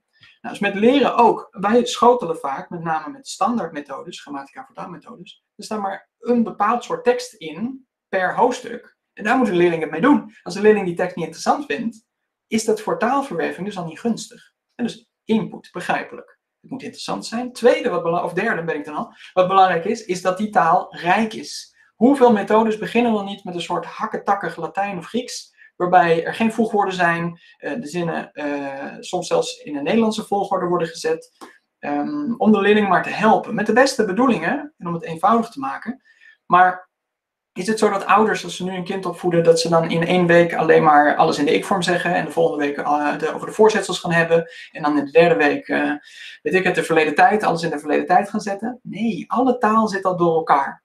Komen we ook zo nog eventjes terug, maar um, belangrijk dus dat de input die leerlingen krijgen, dat dat over iets gaat, het onderwerp, hetgeen waar ze in uh, de taal het dan over hebben, of, het, of over lezen, of over horen moet ik dan elke keer zeggen, en over lezen, dat ze dat interessant vinden. En de vierde is dat je heel veel input nodig hebt. Ja, Urberg doet dat ook, maar strikt genomen, Urberg is uh, ook stiekem bezig met de grammatica stapje voor stapje te doorlopen. Dus elk hoofdstuk heeft een bepaald grammaticaal onderwerp en dat hoeft niet. Je kan, uh, als je de input begrijpelijk maakt en dus het is interessant, uh, dan kan je al met best rijke taal, bij wijze van zelfs al in de eerste les een cognitief, zolang het maar begrijpelijk is, kun je een verhaal vertellen. En dan, uh, wat Urbeck doet, is zich ook, in hoofdstuk 1 staan alleen maar woorden van de eerste en de tweede declinatie. Bewust. Hij wil de derde declinatie nog niet, want die wil hij pas in hoofdstuk 9 gaan behandelen. Dus er zit daar een bepaald pad achter. Kom ik zo op terug. Grammatica en volgorde is ook heel veel onderzoek naar gedaan. Maar inderdaad, van alle methodes die er zijn, is Urberg de beste. Niet het beste, in die zin van het kan nog beter. Er, er, kan een nog betere methode Latijn komen. Uh, en in die is ook een betere methode Grieks. Maar voor wat er nu beschikbaar is, is de contextuele inductieve methode, sluit het beste aan bij deze theorie, inderdaad. Maar het is niet perfect. Uh, daar kunnen we misschien straks nog verder over hebben. Andere vragen over input. Voor mij, Tijn, wil jij nog net iets nog zeggen? En was iemand op de chat trouwens ook. Nee, ik drukte weer op de verkeerde knop. ja, weer op de verkeerde knop. Oké. Okay. Um, lezen dan nog. Ja, lezen uiteindelijk is ons doel bij klassieke talen. En dat uh, is mooi, want lezen, de leeshypothese van Christian en van velen met hem, Benny en Bill van Patten, nou, ik kan je alle namen later geven, is nu dan zeg je nu toch waarschijnlijk niet zoveel. Um, die hebben allemaal komen tot een soortgelijke conclusie. Het overgrote deel van je woordenschat heb je verworven door te lezen. Mensen met een grote woordenschat hebben veel gelezen. Als je gewoon over koetjes en kalfjes praat, een dagelijks taalgebruik, dan komen er tussen de 100 en 500 woorden die veelvuldig voorkomen. Maar ingewikkeldere woorden, die staan in teksten, die staan in literatuur, die staan in artikelen. Wetenschappelijke artikelen, maar ook krantartikelen. Dus een ander soort taal dan dat je normaal gesproken bij de bakker bezigt. Uh, om maar een luxe woord in te gooien. Dus het is um, heel belangrijk om veel te lezen. En uiteindelijk, wij willen literaire teksten kunnen lezen bij de klassieke talen. Dat is ons einddoel. Dus uh, in die zin ligt het helemaal in ons straatje. Het is alleen wel weer zo dat dat lezen dus. Um, ja, wat, eerst maar, wat, wat is lezen eigenlijk? Um, is een presentatie, die, heb ik hier en ik zal het later doorsturen. Ook hier vanwege copyright kan ik dat niet helemaal nu laten zien. Ik heb wel een alternatief, dus van mijn uh, vriend en collega Latijnspreker Justin Slocum Daly, misschien wel eens van gehoord. Indwelling Language heeft hij uh, opgericht een aantal jaar geleden. Uh, heeft soortgelijke presentatie gegeven dit zijn presentaties om te laten zien wat lezen eigenlijk is. En we hebben daar een heel vertekend beeld door, en met name klassici. Omdat ons lezen dus echt iets anders is dan wat de rest van de wereld denkt dat lezen is. Want nogmaals, veelal bij ons als we het over lezen hebben, bedoelen we uh, puzzelen, analyseren, vertalen. Lezen hier bedoelen we van links naar rechts dat er een soort film in je hoofd gaat afspelen als je de tekst hoort of leest. Dat is de bedoeling. En uh, wat is daarvoor nodig? Nou, allereerst een gigantisch hoge woordenschat vaak hier, um, dit is een presentatie dus van, uh, met de titel Extensive Reading. How easy is easy? En dan gaat hij vragen, hoeveel procent denk je dat je van een tekst, uh, hoeveel procent van de woorden moet je kennen om uh, van de gemiddelde tekst dus het te kunnen lezen met extensief, hè? dus op hoog tempo, zonder woorden op te hoeven zoeken en met, met, ja, met zoveel mogelijk begrip. 50%, 60%, 7%, 10%. Je mag op de chat gooien. Wie biedt? Kijk eens. Nou, jullie hebben voorkennis. Heel goed. Oké, okay, het, um, het, de, de ligt aan welk artikel je aanhaalt. De schattingen liggen tussen de 95 en 98 procent. Als ik dit met docenten doe, zitten ze heel veel lager. Soms zelfs onder de 50 procent. Dat ze denken dat je nodig hebt. En dat was de eerste keer dat wij dit hebben gevraagd ook hoor. Ja, maar voor de grap, als je een, uh, een, gewoon een onwillekeurige tekst hebt, pak iets uit de kast, een Griekse tekst, Latijn, maakt niet uit. En ga dan eens markeren welke woorden je weet. En dan welke je niet weet. En als je dan 100 woorden hebt, dan kan je heel makkelijk percentage natuurlijk uitrekenen. hoeveel procentje van een tekst aan woorden kent en niet kent. Nou, ik kan je verzekeren, je schikt je kapot. Het ligt ook aan wie je uit de kast trekt natuurlijk. Ehm, maar ja, er zijn passages, ook, hè, ik ben nu met uh, een cursus Ovidius bezig en lezen we nu ook lezen we gewoon een integraal boek. Dus ook de passages die minder uh, in bloemlezingen voorkomen, dus de stukken die ik ook zelf nooit eerder heb gelezen. Ja, dan zitten er stukken tussen waarbij je bijna elk woord, dat, uh, elk woord wat Ovidius in de zin gebruikt, moet je opzoeken. Die, zijn niet, die behoren niet tot de basiswoordenschat en ook niet tot je net iets grotere woorden, die zitten er gewoon niet bij. Dan kun je die tekst dus niet lezen. Dat is niet te doen. Nou, hoe, hoe erg is het als je een tekst dus hebt. Nou, dit is een tekst, dat gaan we nu niet doen, maar ik zal later dus dit doorsturen. Dit is een tekst die is op 97%, een Engelse tekst. En er zitten dus op uh, 100 woorden zitten drie fantasiewoordjes in. En uh, die kun je dus niet begrijpen, maar de overige 97 woorden wel. En uh, dit is goed te begrijpen. Als je dan dat naar beneden gaat schroeven, dit is ongeveer 95%, deze is een tikkeltje lastiger. Maar bijvoorbeeld hier bij de 90, dan wordt het echt al dat je sommige dingen al gewoon niet meer kan begrijpen. Terwijl het overgrote deel van de tekst is, is dus ja, wel leesbaar, maar er gaat toch wat dingen missen nu. Nou, het wordt dus nog erger als je een tekst van 80% gaat lezen. Dit is eigenlijk al niet meer te begrijpen.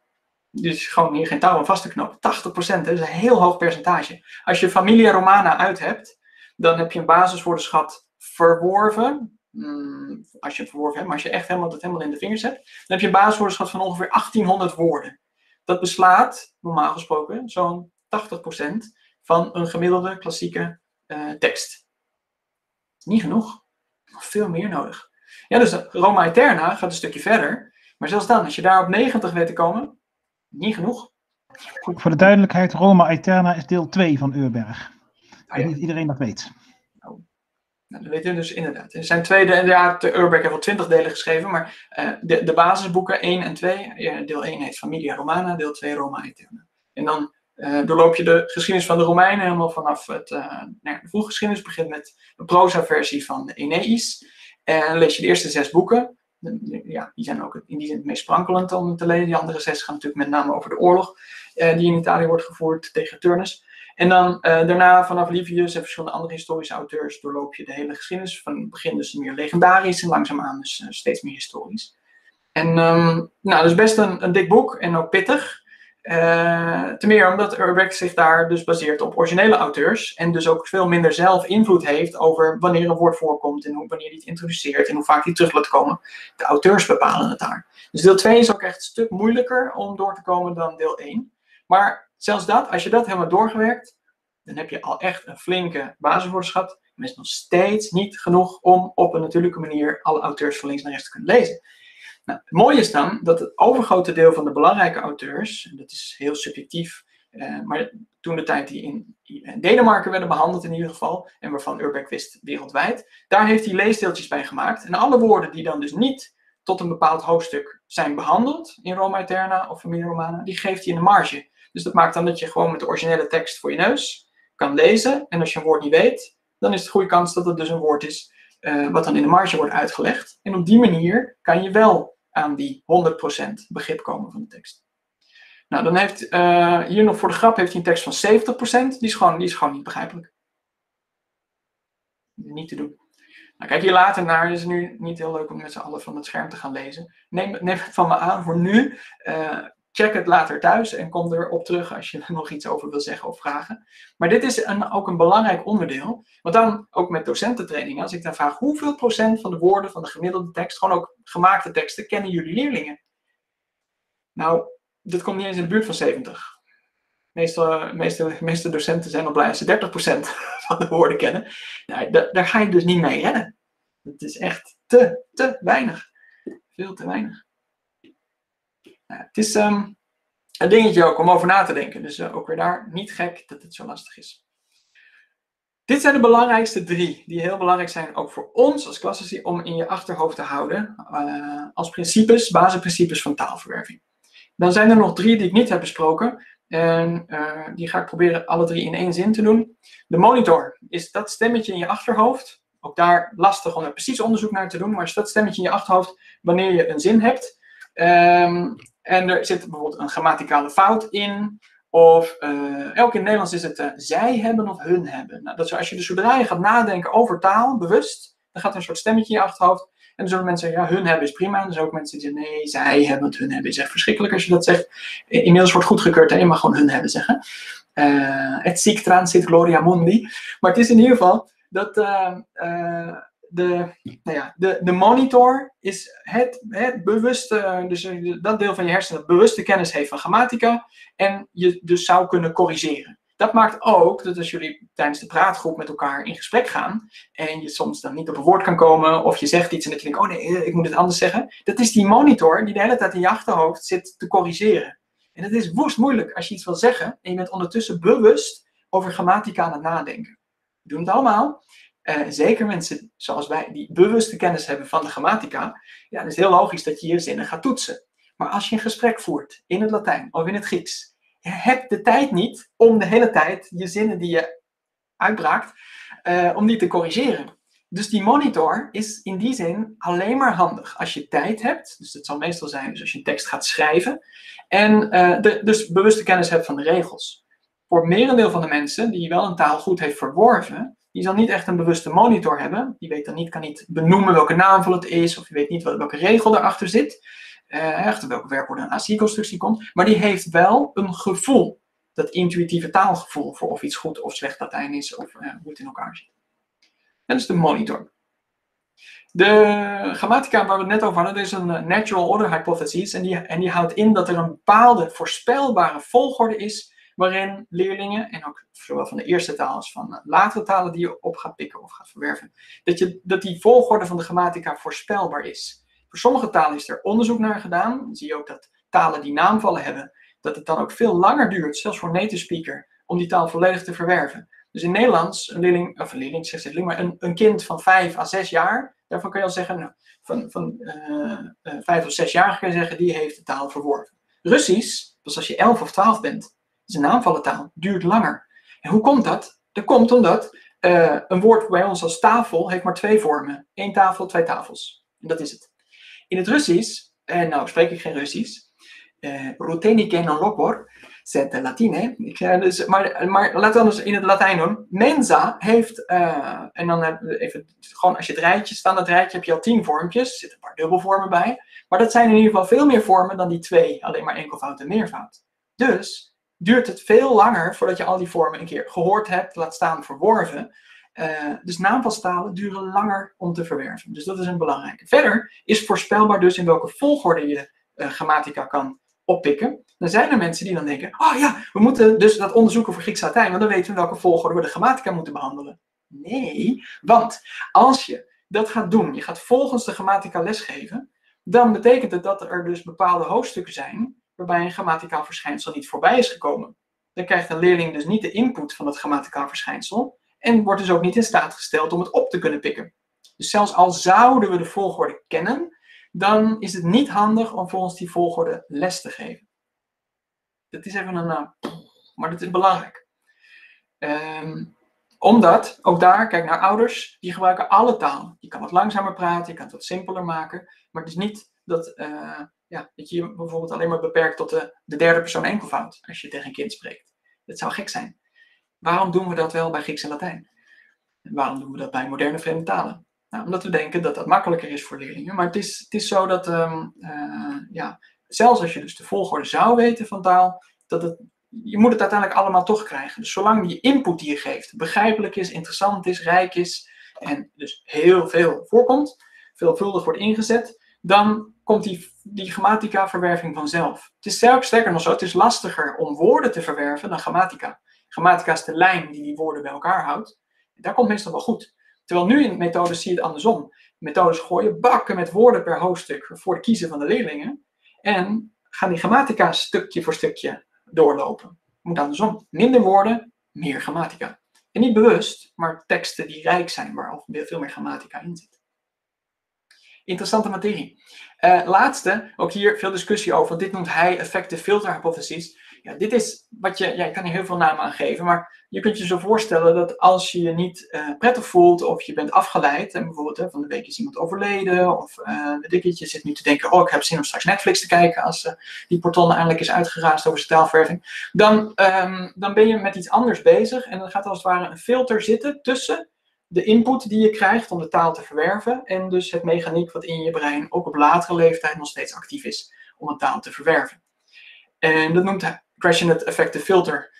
Maar um, ja, dus ook als je een klas voor je hebt en er zit een leerling in die een moeilijke thuissituatie heeft, ga zo maar verder, of iemand die niet oplet, om wat voor reden dan ook, ja, dan, dan komt die taalverving niet binnen. Dus dan kunnen nog de omstandigheden zo goed zijn, veel input, ga zo maar verder, je voldoet aan alle voorwaarden, toch verwerft die leerling geen taal. En dat is dan vaak te wijten aan dat effective filter. Ook daar ook al zei, in de literatuur zijn hier meerdere namen aangegeven. Uh, maar ook dit geen hogere wiskunde. We kunnen hier zoveel onderzoek naar doen als we maar willen. Maar iedereen snapt dat als je hoofd er niet naar staat, als je niet wil, stel als je niet wil leren of geen zin hebt om naar iemand die in Latijn of Grieks praat te luisteren, ja, dan, dan wordt het lastig om die taal op te pikken. Dat is een effective filter. Nou, ik, uh, ik ben, ik, ik blijf maar rebellen. rebellen. Zijn er op dit punt hier vragen over? Dit zijn de, de meeste nee schudden, dit zijn de belangrijkste principes die je in je achterhoofd kan houden. Wat moeten we hiermee? Nou weet je de theorie. Um, en ja, toch, ik blijf het doen, want ik, ik heb het idee dat het heel belangrijk is om die principes te kennen. Omdat je dan, je kan wel leuk een cursus doen, bijvoorbeeld ik kan een cursus TPR geven of TPRS, dan kan je allemaal leuke dingen leren van, oh, zo kan je lesgeven. Maar als je niet snapt waarom je op die manier lesgeeft, en wat je dan in feite aan het doen bent, dan kun je dus nogmaals niet goed beoordelen of wat je tijdens je les inzet aan didactische middelen, of dat efficiënt is, of dat taalverwerving in de hand werkt. Nou, wat moet je doen? Wat zijn de dingen die je kunt doen? Om het even theoretisch te houden, nog maar wel wat in die zin met een praktischere invulling. Um, als jullie daar nog zin en interesse in hebben, dan um, ik probeer, probeer niet te, te ik probeer dit in een kwartiertje te doen. Dit um, is, ja, het zit in het Engels, maar dit is alles wat je dus gaat doen tijdens een les om zoveel mogelijk input te geven aan leerlingen, die dus begrijpelijk is, interessant is, rijk eh, en waar dus heel veel van is. Maar naast dat die vier voorwaarden heel belangrijk zijn, mm, ja, zijn er een aantal dingen die je kunt doen om daaraan te voldoen. Je kan, ik kan een mooi plaatje laten zien en daar allemaal dingen in het Grieks of Latijn over vertellen. En dan in mijn optiek dat heel begrijpelijk hebben gedaan. En uh, nou ja, hè, met, met, uh, met, dat, dat iedereen het snapt, want het is heel logisch, want ik heb een plaatje en er staat een woord bij. En, maar wat ik denk dat logisch is, wil nog niet zeggen dat het voor de leerling logisch is. Of dat het voor jullie logisch is. Dus we moeten dat checken. Een aantal dingen die je kunt doen. Dit, um, nogmaals, de termen zijn in het Engels, maar we kunnen er wel een voorstelling bij maken. Teach to the eyes. Je moet ook geen Nederlands van maken. Doseer naar de ogen. Dat wordt een beetje gek. In het Engels klinkt het toch beter. Teach to the eyes. Het idee is als volgt. Tijdens een les uh, menig college, ik misschien, ik weet niet of jullie Nijmegen is, maar ik heb colleges gehad, met name van historici, die dan al ijsberend voor dat bord heen en weer liepen en dan een hele prachtige oratie gaven. Maar ze keken ons niet aan, hadden geen idee of het aankwam bij ons, of er vragen waren. Uh, ik ben jullie constant, ik, zie dat de aandachtspannen langzaamaan gaat afnemen, want het is ook lang zitten zo, maar ik ben jullie constant aan het peilen. Ik zit de hele tijd naar jullie gezichten te kijken. Uh, dat doe ik als ik een les Latijn of Grieks geef ook constant aan het checken. Hoe komt aan wat ik zeg? Kijken mensen nog een beetje positief? Of gaan steeds meer mensen fronsen? Als heel veel mensen zo gaan kijken, dan ga je te snel, of dan is niet meer begrijpelijk, of niet meer leuk. Of... Dus het is heel belangrijk om die ogen in de gaten te houden. Aan iemands gezichtsuitdrukking kun je zien of men nog begrijpt wat je zegt. Andere manier om te checken of mensen het begrijpen. Want dat is, dat is nog steeds een invulling. Hè? Misschien kijkt iemand van nature zo. Uh, dat kan. Dus meneer gezegd, ja, u kijkt zo boos. Ja, ja, dat is mijn, eh, mijn, mijn naturel blik. Vind ik niet zo naturel. Maar het is uh, handig dus om het te checken. En dat is door bijvoorbeeld een vraag te stellen.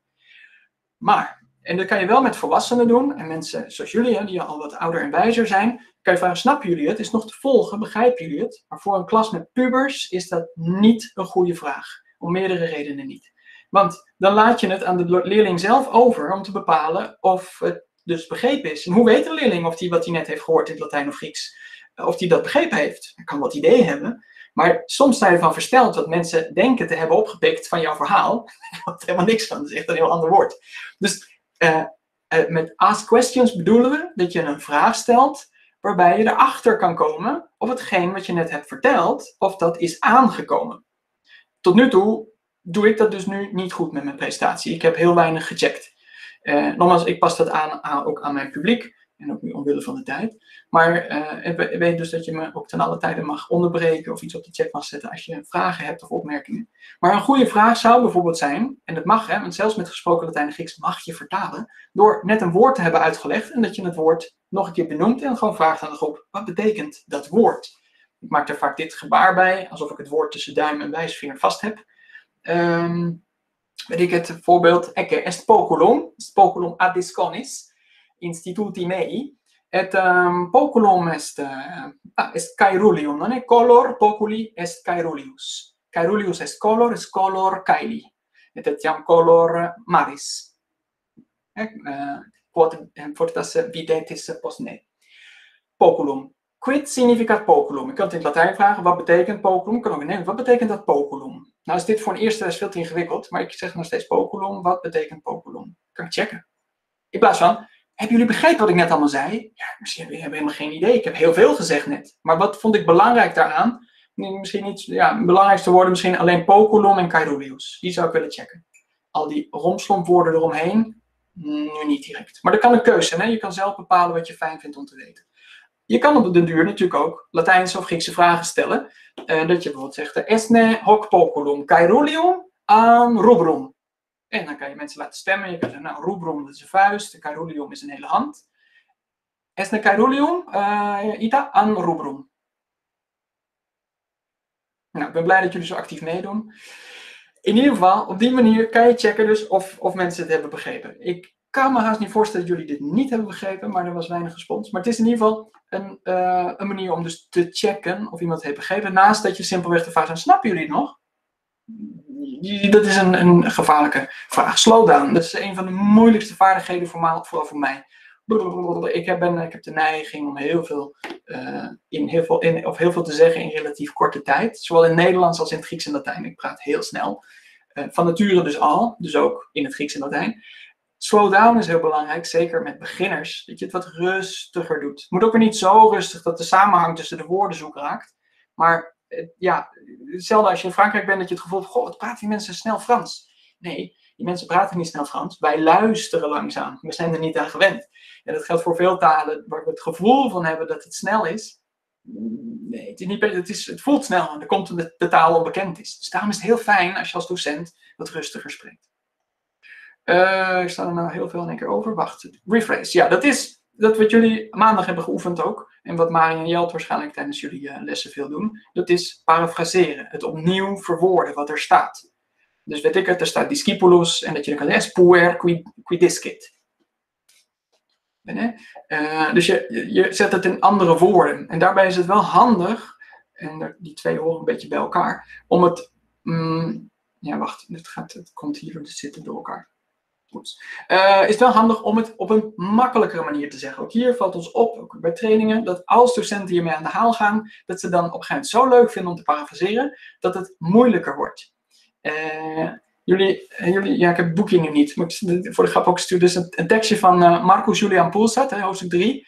En er is iemand die heeft die tekst herschreven en daar dan voegwoorden tussen gezet. Dus met enim en naam. En dus wat ingewikkelder gemaakt. En dan nog een derde versie en een vierde versie. Nou, die vierde versie, als je er niet op bedacht bent, daar snap je niks van. Terwijl het gewoon het hoofdstuk is over dat Mark Julia slaat. Maar het is zo moeilijk Latijn dat je gewoon niet snapt wat er staat in eerste instantie, tenzij je die woorden kent. Maar het merendeel van de mensen heeft het nog nooit eerder zo uh, gehoord en begrepen. Dus dat is grappig om dat te zien. Inhoudelijk super simpel, maar qua, qua Latijn en de vorm waarin het gegoten is, heel erg moeilijk. Dat geldt voor heel veel auteurs die we lezen ook. Ze hebben natuurlijk de vorm en de inhoud in die zin, die werken samen en de vorm is vaak wat ingewikkelder dan wat er inhoudelijk staat. Inhoudelijk soms ook ingewikkeld, maar um, heel veel teksten kunnen we veel makkelijker maken door het eenvoudiger te zeggen.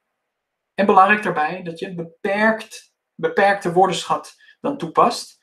Uh, moet je natuurlijk wel langzaamaan steeds meer uitbreiden, maar te veel woorden tegelijkertijd is lastiger dan dat je de grammatica heel erg mondjesmaat gaat toepassen. Het is eerder dus andersom. Wat ik al zei, methodes doen het andersom. Eerst heel stap voor stap grammatica en bakken met woorden. Liever andersom weinig, relatief weinig woorden. En de grammatica hoef je minder zorgen over te maken in dat geval, als het begrijpelijk is. Het is een beetje bazaal eh, wat je kan doen. Dan als je hiermee verder gaan, dan uh, wat nog steeds blijft, en belangrijk blijft, is dat je de betekenis van woorden linkt aan je eerste taal. L1 is de first language, dus je moedertaal. Dus het is niet erg als je een woord hebt in het Latijn of Grieks en je hebt er een associatie bij in het Nederlands om dat te zeggen. Zelfs hè, als je dus zoveel mogelijk in het Grieks en Latijn wil lesgeven, mag je Nederlands spreken. Dat is hun moedertaal. Over het algemeen, en de kinderen die we lesgeven, is dat de moedertaal. Dus het is uh, geen ramp als je niet. Hè, het is geen ramp om te vertalen. Soms, denken mensen ook die de zomerschool bij ons hebben gedaan. Juist omdat wij als docenten de zomerschool volledig in het Grieks en volledig in het Latijn geven. Dan denken ze, oh, dan moet ik tijdens mijn les ook. Nee, dat moet je niet. Want je, zoveel tijd heb je straks niet. Dat je een week lang ondergedompeld wordt. Je hebt straks een paar uur per week. Als je geluk hebt, sommige docenten maar één of twee uur per week. Als je dan dat hele uur vol rebbelt in het Grieks en in het Latijn vanaf les 1, ja, tenzij je dat heel begrijpelijk kan doen, maar dan is het vaak voor leerlingen al dat het boven de pet gaat. Dus hou het simpel, link het naast dat je het uh, of iets ook aan de eerste taal.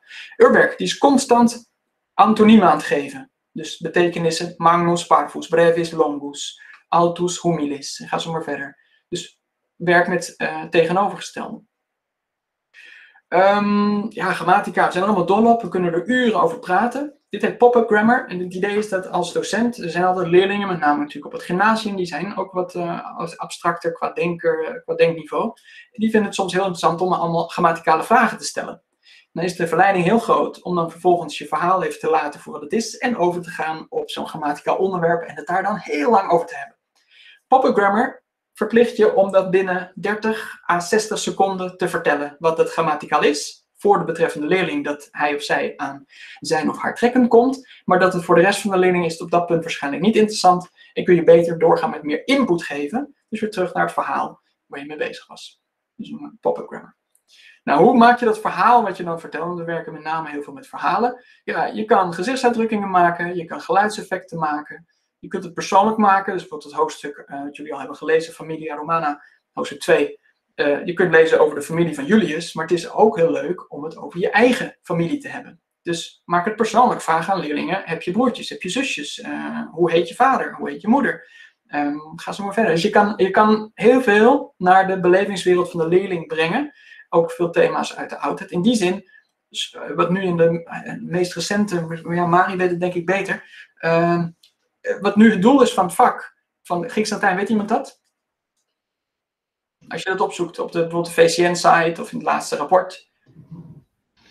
Ik denk dat er net zoveel uh, doelen zijn als dat er docenten zijn. De, de, standaard, de standaardregel die nu heel veel voorkomt, is dus het, uh, het vreemde met het eigene. Dat, dat, uh, dat je dat met elkaar moet contrasteren en gaan. Maar er is een mooie zin voor. Ik kan het niet eens herhalen nu. Wie weet wat ik bedoel? Nou, als je op de VCN, wat ze hebben voor curriculum.nu hebben ze, hebben ze natuurlijk uh, allerlei dingen bedacht om het, om het uh, ja, Grieks en Latijn nog zinvol te houden voor de 21ste eeuw. Ja, inclusiviteit en diversiteit zijn nu ook heel belangrijk. Maar goed, het, het, ja, ik ga bijna voor, ik zou bijna willen googlen. Maar ik ben blij dat jullie het ook niet meteen paraat hebben. Maar als je op de VCN, dat zou, als je vraagt nu, wat is het doel van klassiek taal, is leerlingen laten nadenken over dus het eigene en het vreemde, zoiets in die trant.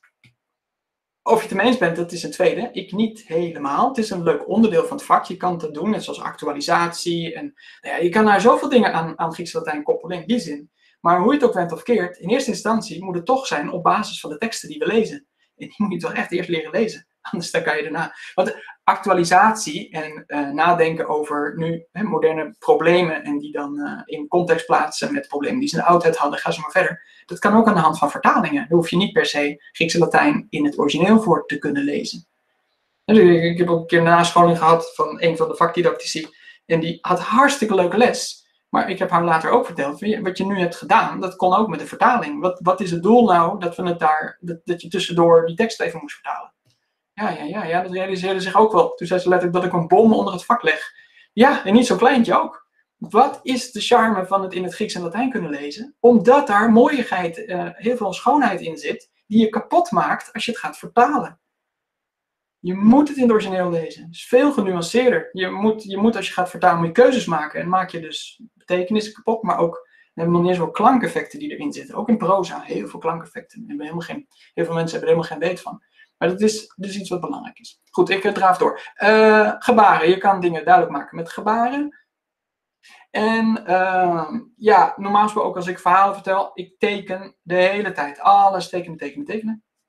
En je kunt natuurlijk ook eh, bepaalde attributen erbij gebruiken. Nou, mooi zou natuurlijk zijn als we hier een hele leuke demonstratie van geven. Die gaan we een andere keer doen. En ook om hiermee te oefenen, want dit ook, je kan nou wel weten van, oh, dit moet je allemaal doen tijdens de les. Maar dat is dus net zo dit, ik heb nou wel input gegeven. Maar dit zijn vaardigheden uh, en anders dan met taalverwerving is het zo dat met dus gamma-vakken en uh, beta-vakken en dus met dit soort vaardigheden, die moet je automatiseren, die moet je oefenen, daar moet je uh, feedback op krijgen, moet je mee trainen. Dus zelfs als je theoretisch weet hoe je dit moet doen, dat weten jullie dan nu, wil nog niet zeggen dat je het dan in de praktijk meteen zo kan doen, want dat is best wel heel lastig. Um, maar um, volgende week maandag, maar dat is precies ook wanneer jullie uh, de andere les hebben van Marie en Jelt. Maar ik ga, ik ga het weer opnemen, dus ik zal de link later delen. Volgende week maandag geef ik, omdat op de Dies Latinos van uh, de, in de week van de klassiek een paar weken geleden, was de verbinding zo slecht dat ik gewoon helemaal pixelig was en het was niet goed te zien. Toen heb ik een fabel verteld aan absolute beginners maar met beetjes en dingetjes tussendoor die ook voor gevorderden interessant zijn. En zeker ook als je weet van, hé, hey, uh, ik moet hierheen wijzen. Dat ik dus gebruik maak van bepaalde technieken uh, om die tekst begrijpelijk te maken. Dat kan interessant zijn om dat te bekijken. Uh, dat is volgende week, als je het interessant vindt, mail me even. Maar het is, jullie hebben dan ook al een andere les, dus anders stuur ik de link gewoon later door, kan je het later terugkijken. Dat komt op de, op de Disco-website. Um, ja, zijn hier vragen over?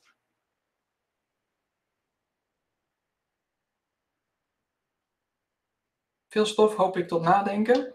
En um, ook voor jezelf. Kijk, als je dus een uur de tijd hebt. En je kan in dat uur bijvoorbeeld allemaal oefeningen gaan maken bij Familie Romana.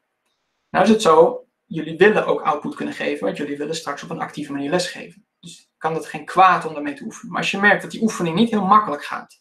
En is, er is echt niks mis mee. Ik weet de eerste keer dat ik uh, de oefeningen bij hoofdstuk 15 ging maken. Dat was op de, over de, op de school. Het eerste hoofdstuk dat Urbeck de persoonsuitgangen gaat uh, doorlopen. En we weten allemaal, OST moest eens NT. Kunnen die rijtje kunnen dromen. Maar als je tekst voor je neus krijgt en je moet in context de juiste vorm invullen op leestempo. Nou, de eerste keer, ik kon dat niet meteen. Ik eh, kon dat pas nadat ik de tekst een aantal keer had gelezen. En um, dat is mij even mijn punt hiermee. Dat komt niet doordat ik die oefening heel vaak heb gemaakt. Dat komt omdat ik op een gegeven moment genoeg input heb gehad. Dat ik naast dat ik dat OST moest NT kan opdreunen. Maar dat ik ook voel wie er wordt aangesproken, welke persoon je moet gebruiken, zonder erover na te denken. Dus dat ik hem ook niet alleen heb geleerd, maar ook heb verworven. Nou, hoe weet je of je iets hebt verworven? Dat is als je een oefening dus maakt. Eh, beste werkt het ook digitaal, dan heb je meteen de feedback. En je kan jezelf dan ook trainen om het sneller te doen. Um, maar dat je, dat je het dus, als je een oefening dan maakt, dat je dan kijkt van, goh, heb ik hier nou serieus uh, intuïtief gedaan? Of heb ik stiekem toch het rijtje opgeroepen in mijn achterhoofd en op de theoretische manier de oefening gemaakt. Als je het op de theoretische manier aan het doen bent, dan zeg ik je, heel oneerbiedig, dan is het een verspilling van je tijd. Want dan ben je aan het leren. Dan ben je gewoon je regel aan het toepassen. En dan is die monitor aan de gang. Dat willen we niet. We willen verwerven. Dus in dat uur kan je beter nog meer teksten lezen die voor jou begrijpelijk zijn, interessant zijn, rijk zijn. En dus zoveel mogelijk lezen in dat uur, dan dat je in dat uur gaat oefenen op dat punt. Oefenen, output, is om te kijken welke input je nog nodig hebt. Daarom zijn heel veel mensen die ook kunnen beamen van ja, maar juist door te spreken heb ik heel veel geleerd. Ja, maar het is niet van je eigen spreken. Je hebt heel veel geleerd doordat je aan het spreken was met iemand die beter was dan jij en die jou verbeterde of dingen herhaalde. Op een gegeven moment van zijn of haar taal heb je meer input gekregen en heb je taal opgepikt. Niet van wat je zelf uitkraamde, omdat wat je uitkraamt is hetgeen wat er al in is gekomen. Dus je kan niet beter worden door alleen maar in jezelf te gaan praten omdat wat komt er voor output uit? Alleen maar wat je al verworven hebt in die zin. Dus als je beter wil worden, niet meer praten, uh, meer lezen, meer luisteren. Maar het is zeker zo, als je met een goede Grieks of Latijnspreker gaat sparren en daarmee in gesprek gaat, dat je daar heel veel van oppikt. Maar dus wederom door de input, niet door de output die je zelf geeft. Dat is een groot, groot, groot misverstand. Um, en in die zin kun je dus je tijd, ook tijdens een les, uh, voor leerlingen, dus veel beter nu bepalen van oké, wat ga ik nu doen? Ga ik Griekse fase, batiken en daar letters bij schrijven? Of ga ik een verhaal in het Grieks vertellen? Simpel, eenvoudig, maar wel begrijpelijk. Dus op een manier dat leerlingen het kunnen volgen. Dat ze veel input krijgen in de taal. Nou ja, Allebei leuke werkvormen, maar ik denk dat van het vertellen van het verhaal, dat ze daar voor hun taalverwerving meer aan hebben. Bene, Ida. Sono interroganda, del dubia, ansutomnia, manifesta, clara, plana, intellecta, petita poro.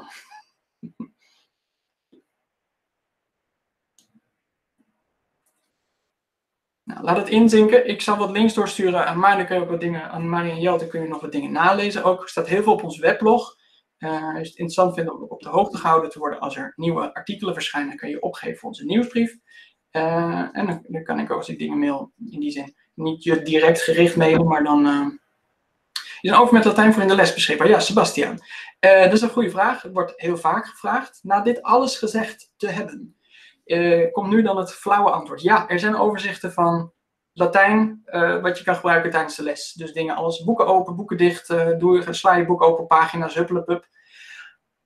Uh, nu komt er een hele, heel flauw antwoord en daarna een, misschien een vriendelijke antwoord. Flauwe antwoord is, nee, het, het, vriendelijke antwoord, ja, die lijsten zijn er. Het flauwe antwoord is, of eigenlijk het, het, antwoord wat je, wat, waar je eigenlijk mee verder en over verder moet nadenken is, als jij, niet jij persoonlijk, maar als men een lijst nodig hebt zelf, om te weten wat je tijdens de les moet zeggen Snap wat ik bedoel? Als je dus zelf een lijst nodig hebt om tegen je leerling te zeggen op welke pagina hij het boek moet openslaan, dan is het waarschijnlijk voor de leerling niet begrijpelijk. Dus wat je beter kunt doen, is een methode gebruiken, zoals Familia Romana, eh, waarbij je samen met de leerling een woordenschat gaat opbouwen.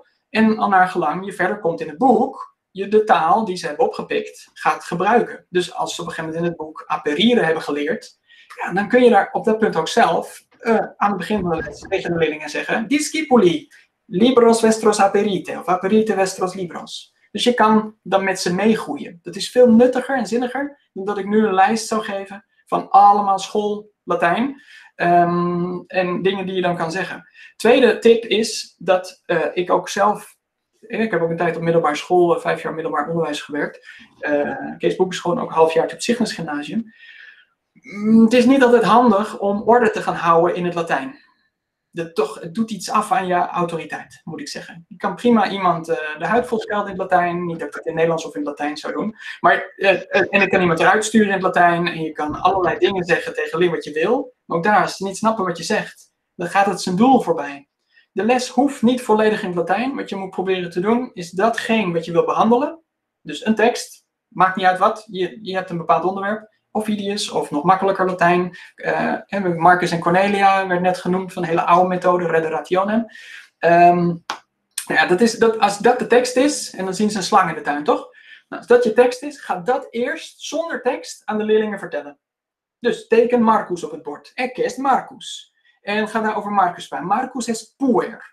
En geef meer voorbeelden van poerie. Wijs leerlingen aan. En zegt dat, nou, weet ik het, er zit uh, een Cornelis in de klas, dat is ook een poer. En nog iemand, is ook een poer. Dan gaan we naar Cornelia. Cornelia non is poer, is puella. En dan gaan we puella aanwijzen in de klas. Op een gegeven moment gaan we checken, want we weten, we kunnen nog zo begrijpelijk denken te zijn. Oh, poer en poer, ze snappen het wel. Nee, we moeten het checken. Dus we gaan vragen wat poer en puella betekenen. En zo bouwen we het verhaal op. Gaan we een tuin erbij tekenen, een slang, en dan zo vertellen we het verhaal.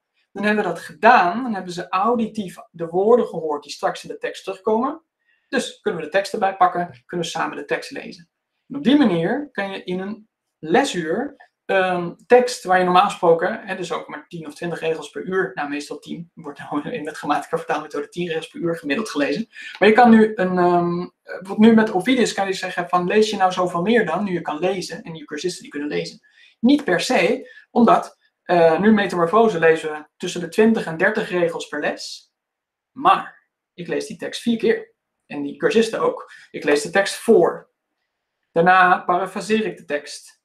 Daarna, als we de tekst hebben geparafraseerd, tijdens het parafraseer lees je en het origineel en de parafrase. Dus in feite ook alweer twee keer dat ze de tekst horen. Dan hebben we de hele paragraaf gedaan. Dan lees ik de hele paragraaf nog een keer voor. Om te kijken of ze het nu kunnen volgen in het Latijn. Dus dan gewoon origineel Ovidius of ze dat auditief, al dan niet met tekst erbij, kunnen volgen. Hebben ze al vier keer de tekst voor een kiezer gekregen. Dus 20 tot 30 regels kan je dus keer 4 doen. Dat is veel meer. Dan nog niet eens meetellend alle woorden die ik verder gebruik als ik parafraseer. Maar mijn parafrases zijn veel wolliger dan de beknopte Ovidius in zijn metrisch prachtige verzen. Dus komt heel veel input in zo'n les voorbij. Dan de eerstvolgende les herhalen we het stuk wat we hebben gelezen door die tekst nog een keer in Latijn voor te dragen. Dus het is dan al de vijfde keer dat ze de tekst zien en horen. En al dan niet met de vertaling er dan bij. En doe ik vaak een literaire vertaling om te laten horen van... hé, hey, kijk, dit heeft een professionele vertaler ervan gemaakt. En dan zien zij ook van... hé, hey, die heeft daar dit en dat vertaald, maar dat staat er eigenlijk niet. En dat is ook heel vaak zo. Hoe goed de vertalingen ook zijn, en het komt in de buurt inhoudelijk en dan gaan er toch dingen verloren uit het origineel. En daar kunnen we het dan nog kort even verder over hebben. En dan vervolgens gaan we weer uh, een nieuw stuk lezen op die manier. Maar er ja, komt dus op die manier veel meer voorbij dan als ik die tekst alleen maar zou voorlezen. Dan zou gaan puzzelen, analyseren en vertalen. En we gaan weer door naar het volgende stuk. Ik hou op deze manier, naast dat ik veel meer input geef, ook heel veel meer tijd over om het te hebben over stijl, woordvolgorde, klankeffecten die in het Latijn zitten. En dan om nog maar te zwijgen over alle andere leuke dingen die je met dit vak kan doen. Als inderdaad actualisatie, etymologie. Nou ja, ga zo maar verder. Cultuur, verhalen goed, uh, het eigene en het vreemde. Dan gaan ze maar verder. Ben, Dus uh, mijn antwoord op de lijst met, met, uh, met de ding. Ik zou zeggen, als je goed, als je dit wil kunnen, ga Familia Romana doen. Dat is echt de absolute basis die je moet hebben als je op een actieve manier Latijn wil gaan geven. En dan zul je samen met dat boek dus de verschillende commando's ook meelezen. Verder zou ik commando's aan leerlingen, dat ze een stoel moeten aanschuiven of uh, nou ja, in stilte de klas moeten verlaten of rustig moeten doen enzovoort, zou ik in het Nederlands tegen ze zeggen, niet in het, in het Latijn. Dat was echt met gevorderde groepen. Andere vragen, opmerkingen? Uh, ja, ik vroeg mij af, um, misschien is het een hele flauwe vraag, maar tegen hoeveel um, weerstand uh, loop jij aan vanuit de wereld van klassici in Nederland met deze ideeën? Ik hoor mijn vrouw op de achtergrond lachen. Het tegen best wel veel weerstand, ja, helaas. Ja, want ik, ik ben gelijk, nou ja, ik was ook idealistisch aan het begin van dit jaar. En toen werd ik al vrij snel teruggefloten van ja, leuk bedacht, maar dat ga je niet doen, want zo werkt dat niet. Zo leer je geen Latijn en Grieks. Um, en datzelfde met dit. Um, naast het feit dat ik waarschijnlijk mijn uh, medeklassici al niet zou kunnen overtuigen om dit te proberen in klas 1. Uh, want zo doen wij Latijn niet. Mhm. Ja. Het maffe, het is dat je eigenlijk op deze manier nog veel betere kennis moet hebben van grammatica. Omdat je het moet opbouwen. En veel bewuster moet zijn van woordenschat en grammatica. In die zin alles wat erbij komt kijken.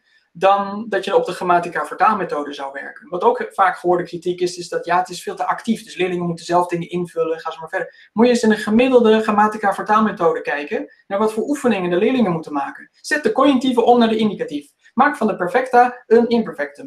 Uh, ga zo dat is heel actief, zonder context en woest moeilijk. Terwijl Urberg, die zou dat allemaal in context vragen. Maar daarom, daarom ook vanavond niet zozeer dat ik een, proefles heb gegeven en laat zien wat je kan doen. Uh, dat laat ik graag nog wel een keertje zien. Maar het is um, heel belangrijk om de theorie die erachter zit te weten. En ook te weten dat het niet iets is wat ik uit mijn grote duim heb gezogen. Er zit heel veel en heel lang wetenschappelijk onderzoek achter. En keer op keer wint input het van bewuste grammatica uh, vertaalmethode onderwijs. Keer op keer. Dus op de langere termijn, want dit is wel iets wat tijd kost, uh, wint de, deze manier van werken het altijd van de grammatica vertaalmethode. En um, ja, de grammatica vertaalmethode in die zin, die werkt op de korte termijn. En je kan in relatief korte tijd heel veel woordjes, heel veel grammatica behandelen. En het lijkt dan dat je het allemaal beheerst, maar dat is niet zo. Dus een. Uh,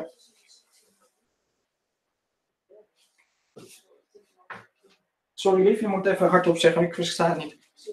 Zelfs als je de hele sectie dat. Jij krijgt jouw. Oh, zo, ja. Oké, dus um, het punt is. Ik ook toen op mijn middelbare school, ik mocht ook niet met Urberg werken. later pas, maar de eerste paar jaar moest ik met Fortuna. Maar niemand belet jou om tijdens de les, dus zo'n tekst, in plaats van dat je meteen gaat vertalen, dat je die tekst in simpel uh, Latijn eerst vertelt. Dus niemand heeft verder invloed op jouw didactiek. En je zult zien, en dat gebeurt in die zin met mij ook, dan uh, hadden we, er was altijd standaard parallelklassen. Wat heel onhandig was, want het is natuurlijk veel makkelijker als je alle eerste klassen hebt. Want dan hoef je één keer voor te bereiden en dan geef je dat aan de lopende band aan alle klassen. Maar bij ons werkt het altijd met parallel uh, docenten, omdat je dan met elkaar kon sparren ook heel leuk. Uh, en dat heeft zeker, is, is, is ook belangrijk. Maar goed, hier, hier zorgde het inderdaad voor, in het begin, voor nogal wat vraagtekens. op de lange termijn bleek dat de groep, hoewel we dus dezelfde stof behandelden, die ik op die actieve manier les gaf, hogere cijfers haalde voor de toetsen. Terwijl de toetsen waren hetzelfde, de stof was hetzelfde. Waar zat het verschil? In de didactiek. Voor mijn leerlingen had het veel makkelijker. Maar later stoten ze wel weer hun neus, want in de hogere klassen, bijvoorbeeld als er een, zin stond met uh, een mihi nomen est constructie, dus een datus possessivus, dan moesten ze dat vertalen volgens Fortuna met ik heb. Dus dan, dan stond er dat iemand dus op een bepaalde manier heette, maar dan moesten ze het vertalen met ik heb de naam, puntje punt, dus mihi nomen est Casparius, moesten ze vertalen met ik heb de naam Casper. Ik heb in mijn leven nog nooit op die manier gezegd dat ik zo heet. Mijn naam is Casper, of ik heet Casper, maar niet ik heb de naam Casper.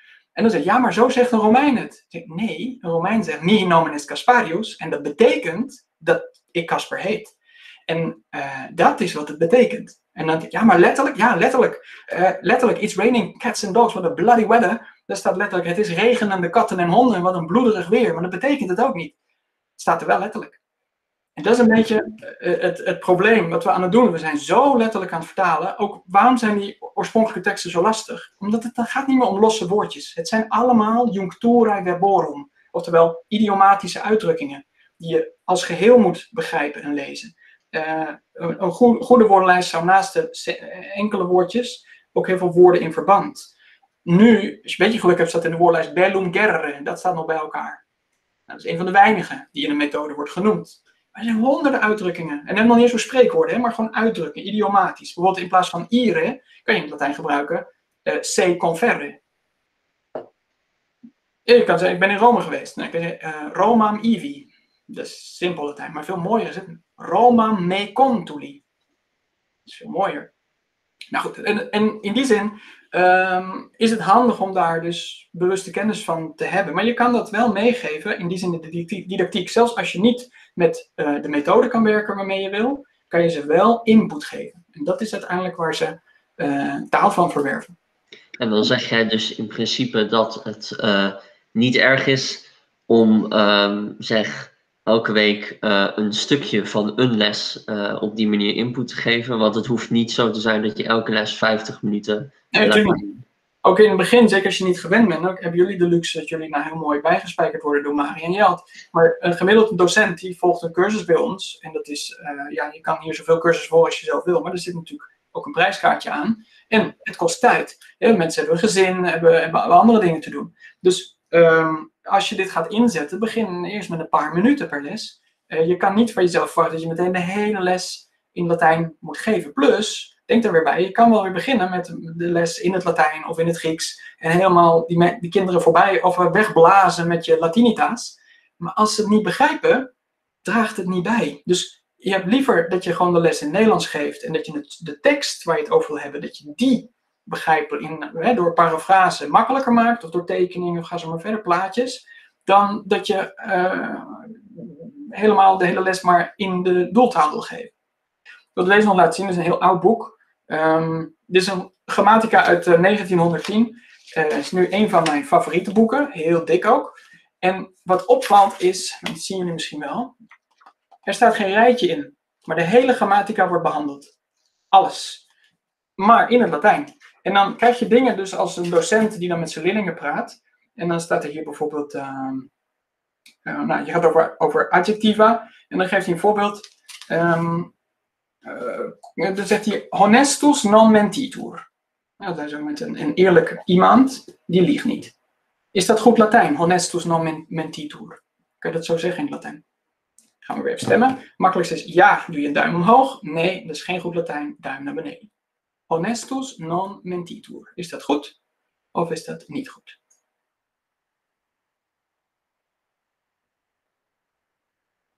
Niet iedereen is eruit. Sommigen twijfelen, die doen dit, dat kan natuurlijk ook, weet het niet. Maar als je kleur moet bekennen, honestus non mentitur, eerlijk man. We kunnen ook honesta non mentitur van maken, inclusief. Eerlijk vrouw liegt niet. Nou, merendeel van de, zou ik, wat ik met jullie eens zou zeggen, ja, dat is, dat is prima Latijn. Het is niet goed Latijn. In de zin van, ja, theorie, je kan het wel zo zeggen, maar Romein zou het niet zo zeggen. Hoe komt dat? Omdat er een heel select aantal bijvoeglijke naamwoorden is, die je in het enkelvoud gesubstantiveerd kan gebruiken. Denk aan amicus, um, en dat is de, meest bekende, denk ik. Maar er zijn er meerdere. Je kan eh, denken, hier geeft een hele opzijn. Familiaris, necessarius, propinquus, aequalis, vicinus, adversarius, cognatus, ingenus, liber, mortalis, socius. Nou, dit gaat rijen, rijen, rijen door. Maar honestus staat er niet tussen. En dat geldt ook voor bonus, zeg zo maar verder. En waarom mag dat niet? In het Latijn moet je daar, als je het in enkelvoud zegt, moet je daar een zelfstand nauwer bij vermelden. Dus weer, of homo honestus non mentitur. Dat is hoe Cicero het zou zeggen. Je kan het wel in het meervoud zetten. Dat kan wel. Dus in het meervoud mag je wel substantiveren. Dat staat niet in deze jongen. Waarschijnlijk ook niet in deze jongen. Maar wel in deze. Dus hoe verder je terug gaat in de tijd, hoe beter de grammatica's worden. En uh, nou ja, dit is een klein voorbeeld, maar het stikt hier dus van. Van zinnen waarvan je denkt, nou, is prima Latijn. En dat, nee, is dus niet qua... Dus Latijn, ja, wat, wat, wat is Latijn? Dat is ook natuurlijk de vraag. Maar als je dus met de goede Latinitas volgens de uh, klassieke auteurs. en dan hebben we niet over woorden, hè, je mag best wel neologismen gebruiken. Die. Dan gaat het gaat om de structuur, grammaticaal. Ja, dan gaat er een wereld voor je open, hoeveel regels er nog zijn. En uh, ja, deze grammatica was dus al bedoeld voor mensen die Latijn hadden verworven, maar dan dus nog beter erin wilden worden in de grammatica bewust om te kunnen schrijven. En uh, niet goed hoe ik hier nou opkom, maar het um, uh, is een, een voorbeeld van, hè, ook in de tijd dat er nog veel meer mensen nog Latijn actief gebruikten. Ehm, dat is op een heel andere manier Latijn en Grieks dus leerden en doseerden. En dat wat nu moderne docenten klassieke talen de traditionele methode noemen, die zijn niet zo traditioneel. Die is een beetje in opkomst sinds de industriële revolutie. Maar daarvoor, al die eeuwen en eeuwen en eeuwen, was er actief Latijn en Grieks. En uh, niet de grammatica vertaalmethode. Goed, belangrijk in die zin dus, jullie hebben nou een beetje een theoretisch kader. Je kunt nu ook, ook met collega's en met studiegenoten, als je dus iets daarover uh, zeggen of willen weten, dan heb je misschien iets, net iets meer achtergrond om daarop te kunnen antwoorden. En um, ja, ik hoop dat jullie uh, wat wijzer in die zin zijn geworden. Uh, ik hoop jullie nog wel een keertje te zien. Wie weet bij de zomerschool of bij een andere activiteit. En, en dan ook dat we wat meer een praktische invulling aan deze theorie kunnen geven en ermee kunnen oefenen. Want nou ja, dit, dit, wat ik al zei, is niet voldoende om nu meteen op een actieve manier, je lessen te kunnen geven. Weet, ik me ook, weet ik ook wel heel goed, maar het is wel heel belangrijk dat je deze theorie hebt. Zonder die theorie ja, kan je wel zomaar beginnen, maar dan kan het zomaar zijn dat je het op een manier aan het doen bent die dan toch niet heel het gewenste effect gaat, je daar niet mee het gewenste effect bereikt. En dan kun je nu veel beter verklaren waarom dat dan zo is. Um, nou, kijk op uh, Adisco, voor zover je dat nog niet eerder hebt gedaan. Er zit een heel leuk blog ook op, Classicolus, dat ben ik. En uh, daar zit dan ook een knop onderaan, elke pagina nieuwsbrief. Kun je ook voor opgeven en hou je op de hoogte. We proberen deze of volgende week wat meer uh, bekend te maken over de zomerschool. ik zit nog steeds heel erg in dubio. Ik wil, ik wil heel graag met Marie en Jelte ook gewoon dat het allemaal open gaat enzovoort enzovoort. Maar ik heb er echt een heel hard hoofd in. hoe het ook bent of keer, het zal als het niet hier op locatie kan, dan hebben we hier prachtige plekken hier in het onderwijscentrum. De uh, ja, 400 vierkante meter aan lesruimtes, allerlei verschillende formaten. Dat er ja, voor in die zin uh, voor allerlei verschillende activiteiten een juiste ruimte is. Maar het moet natuurlijk wel veilig. En uh, ja, naast aan jongeren geven we ook aan, aan oudere mensen les. En het is de vraag, ja, die worden natuurlijk wel het eerst gevaccineerd. Maar we moeten even kijken hoe het, loopt. Het is in ieder geval zoals het er nu uitziet niet heel, uh, niet heel goed. En uh, misschien is het verstandiger om het dan toch online te doen. Hoewel dat minder leuk is. Maar ja, je kan wel ook online heel veel input krijgen. En je kan ook wel degelijk zelf lessen voorbereiden. Aan elkaar dat laten zien, elkaar feedback geven. Dus is niet dat het helemaal ellendig is. En um, nou ja, wie weet. Uh, ik uh, hoop uh, gauw daar de knopen over door te hakken. Volgende, volgende keer ook nog even overleg met Maria en Jelt daarover. En dan horen jullie daar ook weer meer over. Bene, ergo, maximas um, plurimasque gratias vobis ago pro attente audiendo.